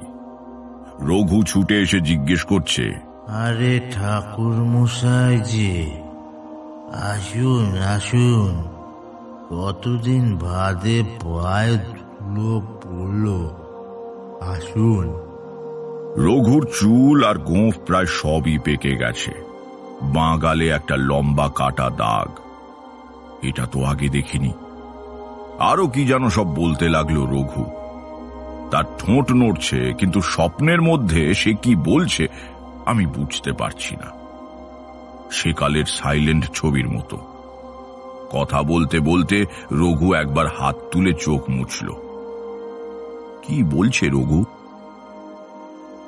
ঘুম ভেঙে বিছানায় উঠলাম। ঝিমঝিম করছে নিশুতি রাত। ততক্ষণে আমার গায়ে কাঁটা দিয়ে উঠেছে।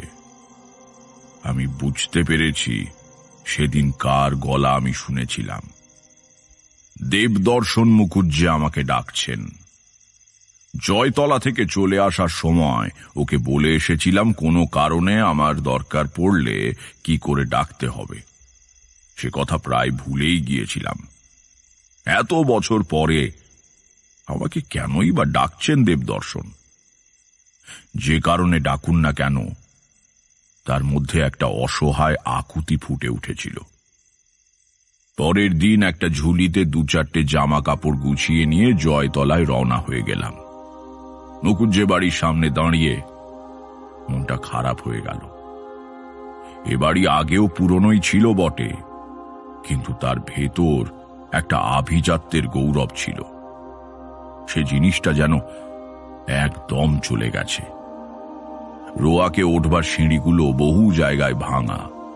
দেবদর্শনের সঙ্গে যেখানে প্রথম আলাপ হয়েছিল, সেই দালানের পঙ্খের কাজের চটা উঠে যাচ্ছে। সবচেয়ে বড় কথা, দালানের কড়িবর্গার ফাঁক থেকে পায়রার দল উধাও হয়েছে, ফলে দালানে এক ধরনের নীরবতা বিরাজ করছে। পায়রার দল চলে যাওয়া কোনো গৃহের পক্ষে শুভ লক্ষণ নয়। আর একটা কি যেন এ বাড়িতে ঘটেছে, খুব খুব খারাপ কিছু। দালানে ওঠবার সিঁড়ির সামনে দাঁড়িয়ে ভাবছি কাকে ডাকা যায়। দেবদর্শনের ছেলেদের নামও ঠিকঠাক মনে পড়ছে না তখন। এমন সময় ভেতর বাড়ি থেকে রঘু বেরিয়ে এসে আমাকে দেখে একেবারে আশ্চর্য হয়ে গেল। আরে ঠাকুর মশাইয়ে আসুন আসুন আসুন। কতদিন পর পায়ের দুলো পড়ল আসুন আসুন। একেবারে স্বপ্নের সেই সংলাপ হুবহু। খুব বুড়ো হয়ে গেছে রঘু। চুল ভুরু গোঁফ সব পাকা। কপালে ও মুখে জরার কুঞ্চন। তার বাঁগালে স্বপ্নে যেমন দেখেছি ঠিক তেমন একটা কাটা দাগ। কেমন আছো রঘু? এখানকার সব খবর ভালো তো? না ঠাকুর মশাই খবর মোটেও ভালো না। কি হয়েছে? কর্তার খুব অসুখ। আজ মাসখানেক বিছানা থেকে উঠতেও পারছেন না। গেল বছরেও একবার শরীর খারাপ হয়েছিল। ব্রজমাধব কোবরেজের চিকিৎসায় সেইরে উঠেছিলেন। কিন্তু এবার অবস্থা খুবই খারাপ। আর কি বলব ঠাকুর মশাই সেবা করবার ভালো লোক না থাকলে রোগী সারে না। কেন গিন্নিমা? তিনি নেই ঠাকুর মশাই তিনি নেই। তিনি থাকলে এ বাড়ির রেধাসা হয় না। আমি মৃত্যু অনেক দেখেছি অনেক অদ্ভুত অভিজ্ঞতার মধ্যে দিয়ে গিয়েছি। সব সাধনা করেছি মন আমার শক্ত হয়ে গিয়েছে। কিন্তু মুখুজ্জে গিন্নির মৃত্যু সংবাদ শুনে বুকের ভেতরটা কষ্টে মুচড়ে উঠল। মনে পড়ে গেল, খেতে বসে সেই মুখ তুলে হঠাৎ গিন্নিমাকে দেখা। সেই পদ্ম পলাশের মতো চোখ, চওড়া লাল পাড় শাড়ি, মন্দিরের দরজার সামনে সেই লক্ষ্মীর পায়ের ছাপ। তিনি চলে গিয়েছেন, তাই বুঝি এ বাড়ির ঘরদোর দেউড়িতে সমস্ত পরিবেশে বিষণ্নতার ছায়া। তুমিও তো অনেক বুড়ো হয়ে গেছো, রঘু। কিন্তু তোমার গালে ও কিসের কাটা দাগ? এই দাগটা না কবা কাণ্ড হয়েছিল। দা দিয়ে বাঁশ ছিঁচে খুঁটি বানিয়েছিলাম। হঠাৎ হাত ফসকে বাঁশটা গালের উপর এসে পড়েছিল। বেশি লাগেনি, কিন্তু ডাকটা ঠেকেই গেল। সে যাক ঠাকুর মশাই আমার এখন ভগবানের কাছে শুধু এইটুকু কামনা। কর্তা কষ্ট না পেয়ে তাড়াতাড়ি চলে যান। পেছন পেছন আমিও যাই। আমার আগে গেলে চলবে না ঠাকুর মশাই কর্তাকে দেখার আর কেউ নেই। কথা বলতে বলতে রঘু হাত তুলে চোখের জল মুছল। ঠিক স্বপ্নে যেমনটি দেখেছিলাম সেই দৃশ্য। রঘু আমাকে নিয়ে চলল ভেতর বাড়িতে। সেই দেউড়ি সেই বারান্দা যেখানে বসে আমরা খেতাম। দালান পার হয়ে ভেতর বাড়ি। চওড়া বারান্দা পার হয়ে বাঁদিকের একটা বড় ঘরের দরজায় দাঁড়িয়ে অনুচ্চ গলায় রঘু ডাকল কথা কথা কে? কথা ঠাকুর মশাই এসছেন। সেই যে সেই যে ঠাকুর মশাই। নিয়ে আয় ভেতরে নিয়ে আয় ঘরে ঢুকলাম। প্রায় কোমর ছাড়িয়ে উঁচু বিশাল খাটে দেবদর্শন শুয়ে আছেন। শরীর প্রায় অর্ধেক। বিছানার সঙ্গে মিশে আছে। গায়ের রং মলিন হয়ে গিয়েছে। অনেক অনেক বয়স হয়ে গিয়েছে তার। কিন্তু একটি জিনিস মহাকাল হরণ করে নিতে পারেনি। সেটি হচ্ছে তার চোখ। বড় বড় উজ্জ্বল দুই চোখের দৃষ্টি আমার দিকে নিবদ্ধ। কাছে এগিয়ে গিয়ে তার খাটের পাশে দাঁড়ালাম। মুখুজ্জে মশাই চিনতে পারেন? ভুলতে তো পারি না। কেমন আছেন আপনি? আমি তো ভালো আছি। আপনি আবার অসুখ বাঁধিয়ে বসলেন কেন?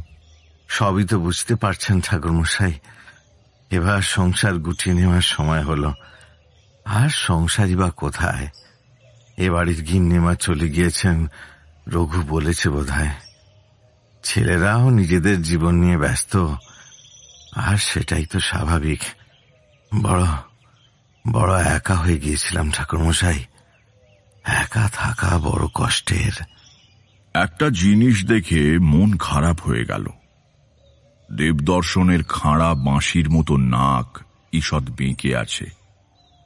অসুস্থ শয্যাশায়ী রোগীর নাক বেঁকে গেলে সে আর বেশি দিন বাঁচে না। তাছাড়া ঘরে ঢুকেই আমি মৃত্যুর গন্ধ পেয়েছি।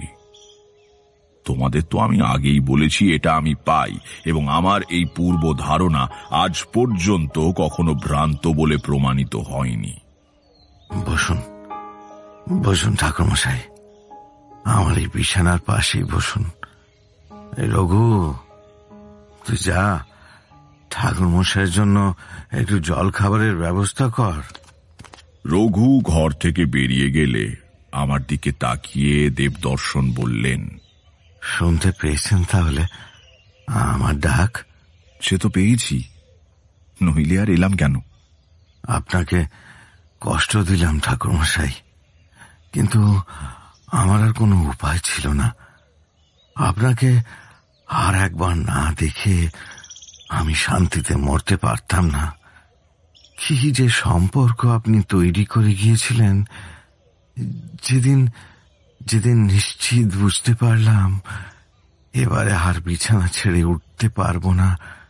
সেদিনই দুপুরবেলা শুয়ে মধুসুন্দরী দেবীর শ্লোক উচ্চারণ করে মনে মনে আপনাকে ডাকলাম। সঙ্গে সঙ্গেই আমি আপনার ডাক শুনতে পেয়েছি। প্রথমে ঠিক বুঝতে পারিনি কিন্তু সেদিন রাত্রিরেই এই বাড়ি আর রঘুকে স্বপ্নে দেখেছি। আমি বুঝতে পেরেছিলাম হাতে বেশি সময় নেই। তাই তাড়াতাড়ি খুব ভালো করেছেন। সময় যে আর নেই সে আমিও বুঝতে পেরেছি। আমি আমি কবে যাব ঠাকুরমশাই? এখনও কিছু দেরি আছে। সম্ভবত সামনের মাসের শুক্লপক্ষের কোনো দিন। অন্য কেউ হলে হয়তো বলতাম না। কিন্তু এই ভবিষ্যৎবাণী শোনার যোগ্যতা আপনি লাভ করেছেন। মনকে মুক্ত করে দিন, নয়তো ইষ্ট চিন্তা করুন। মন আমার মুক্তই আছে।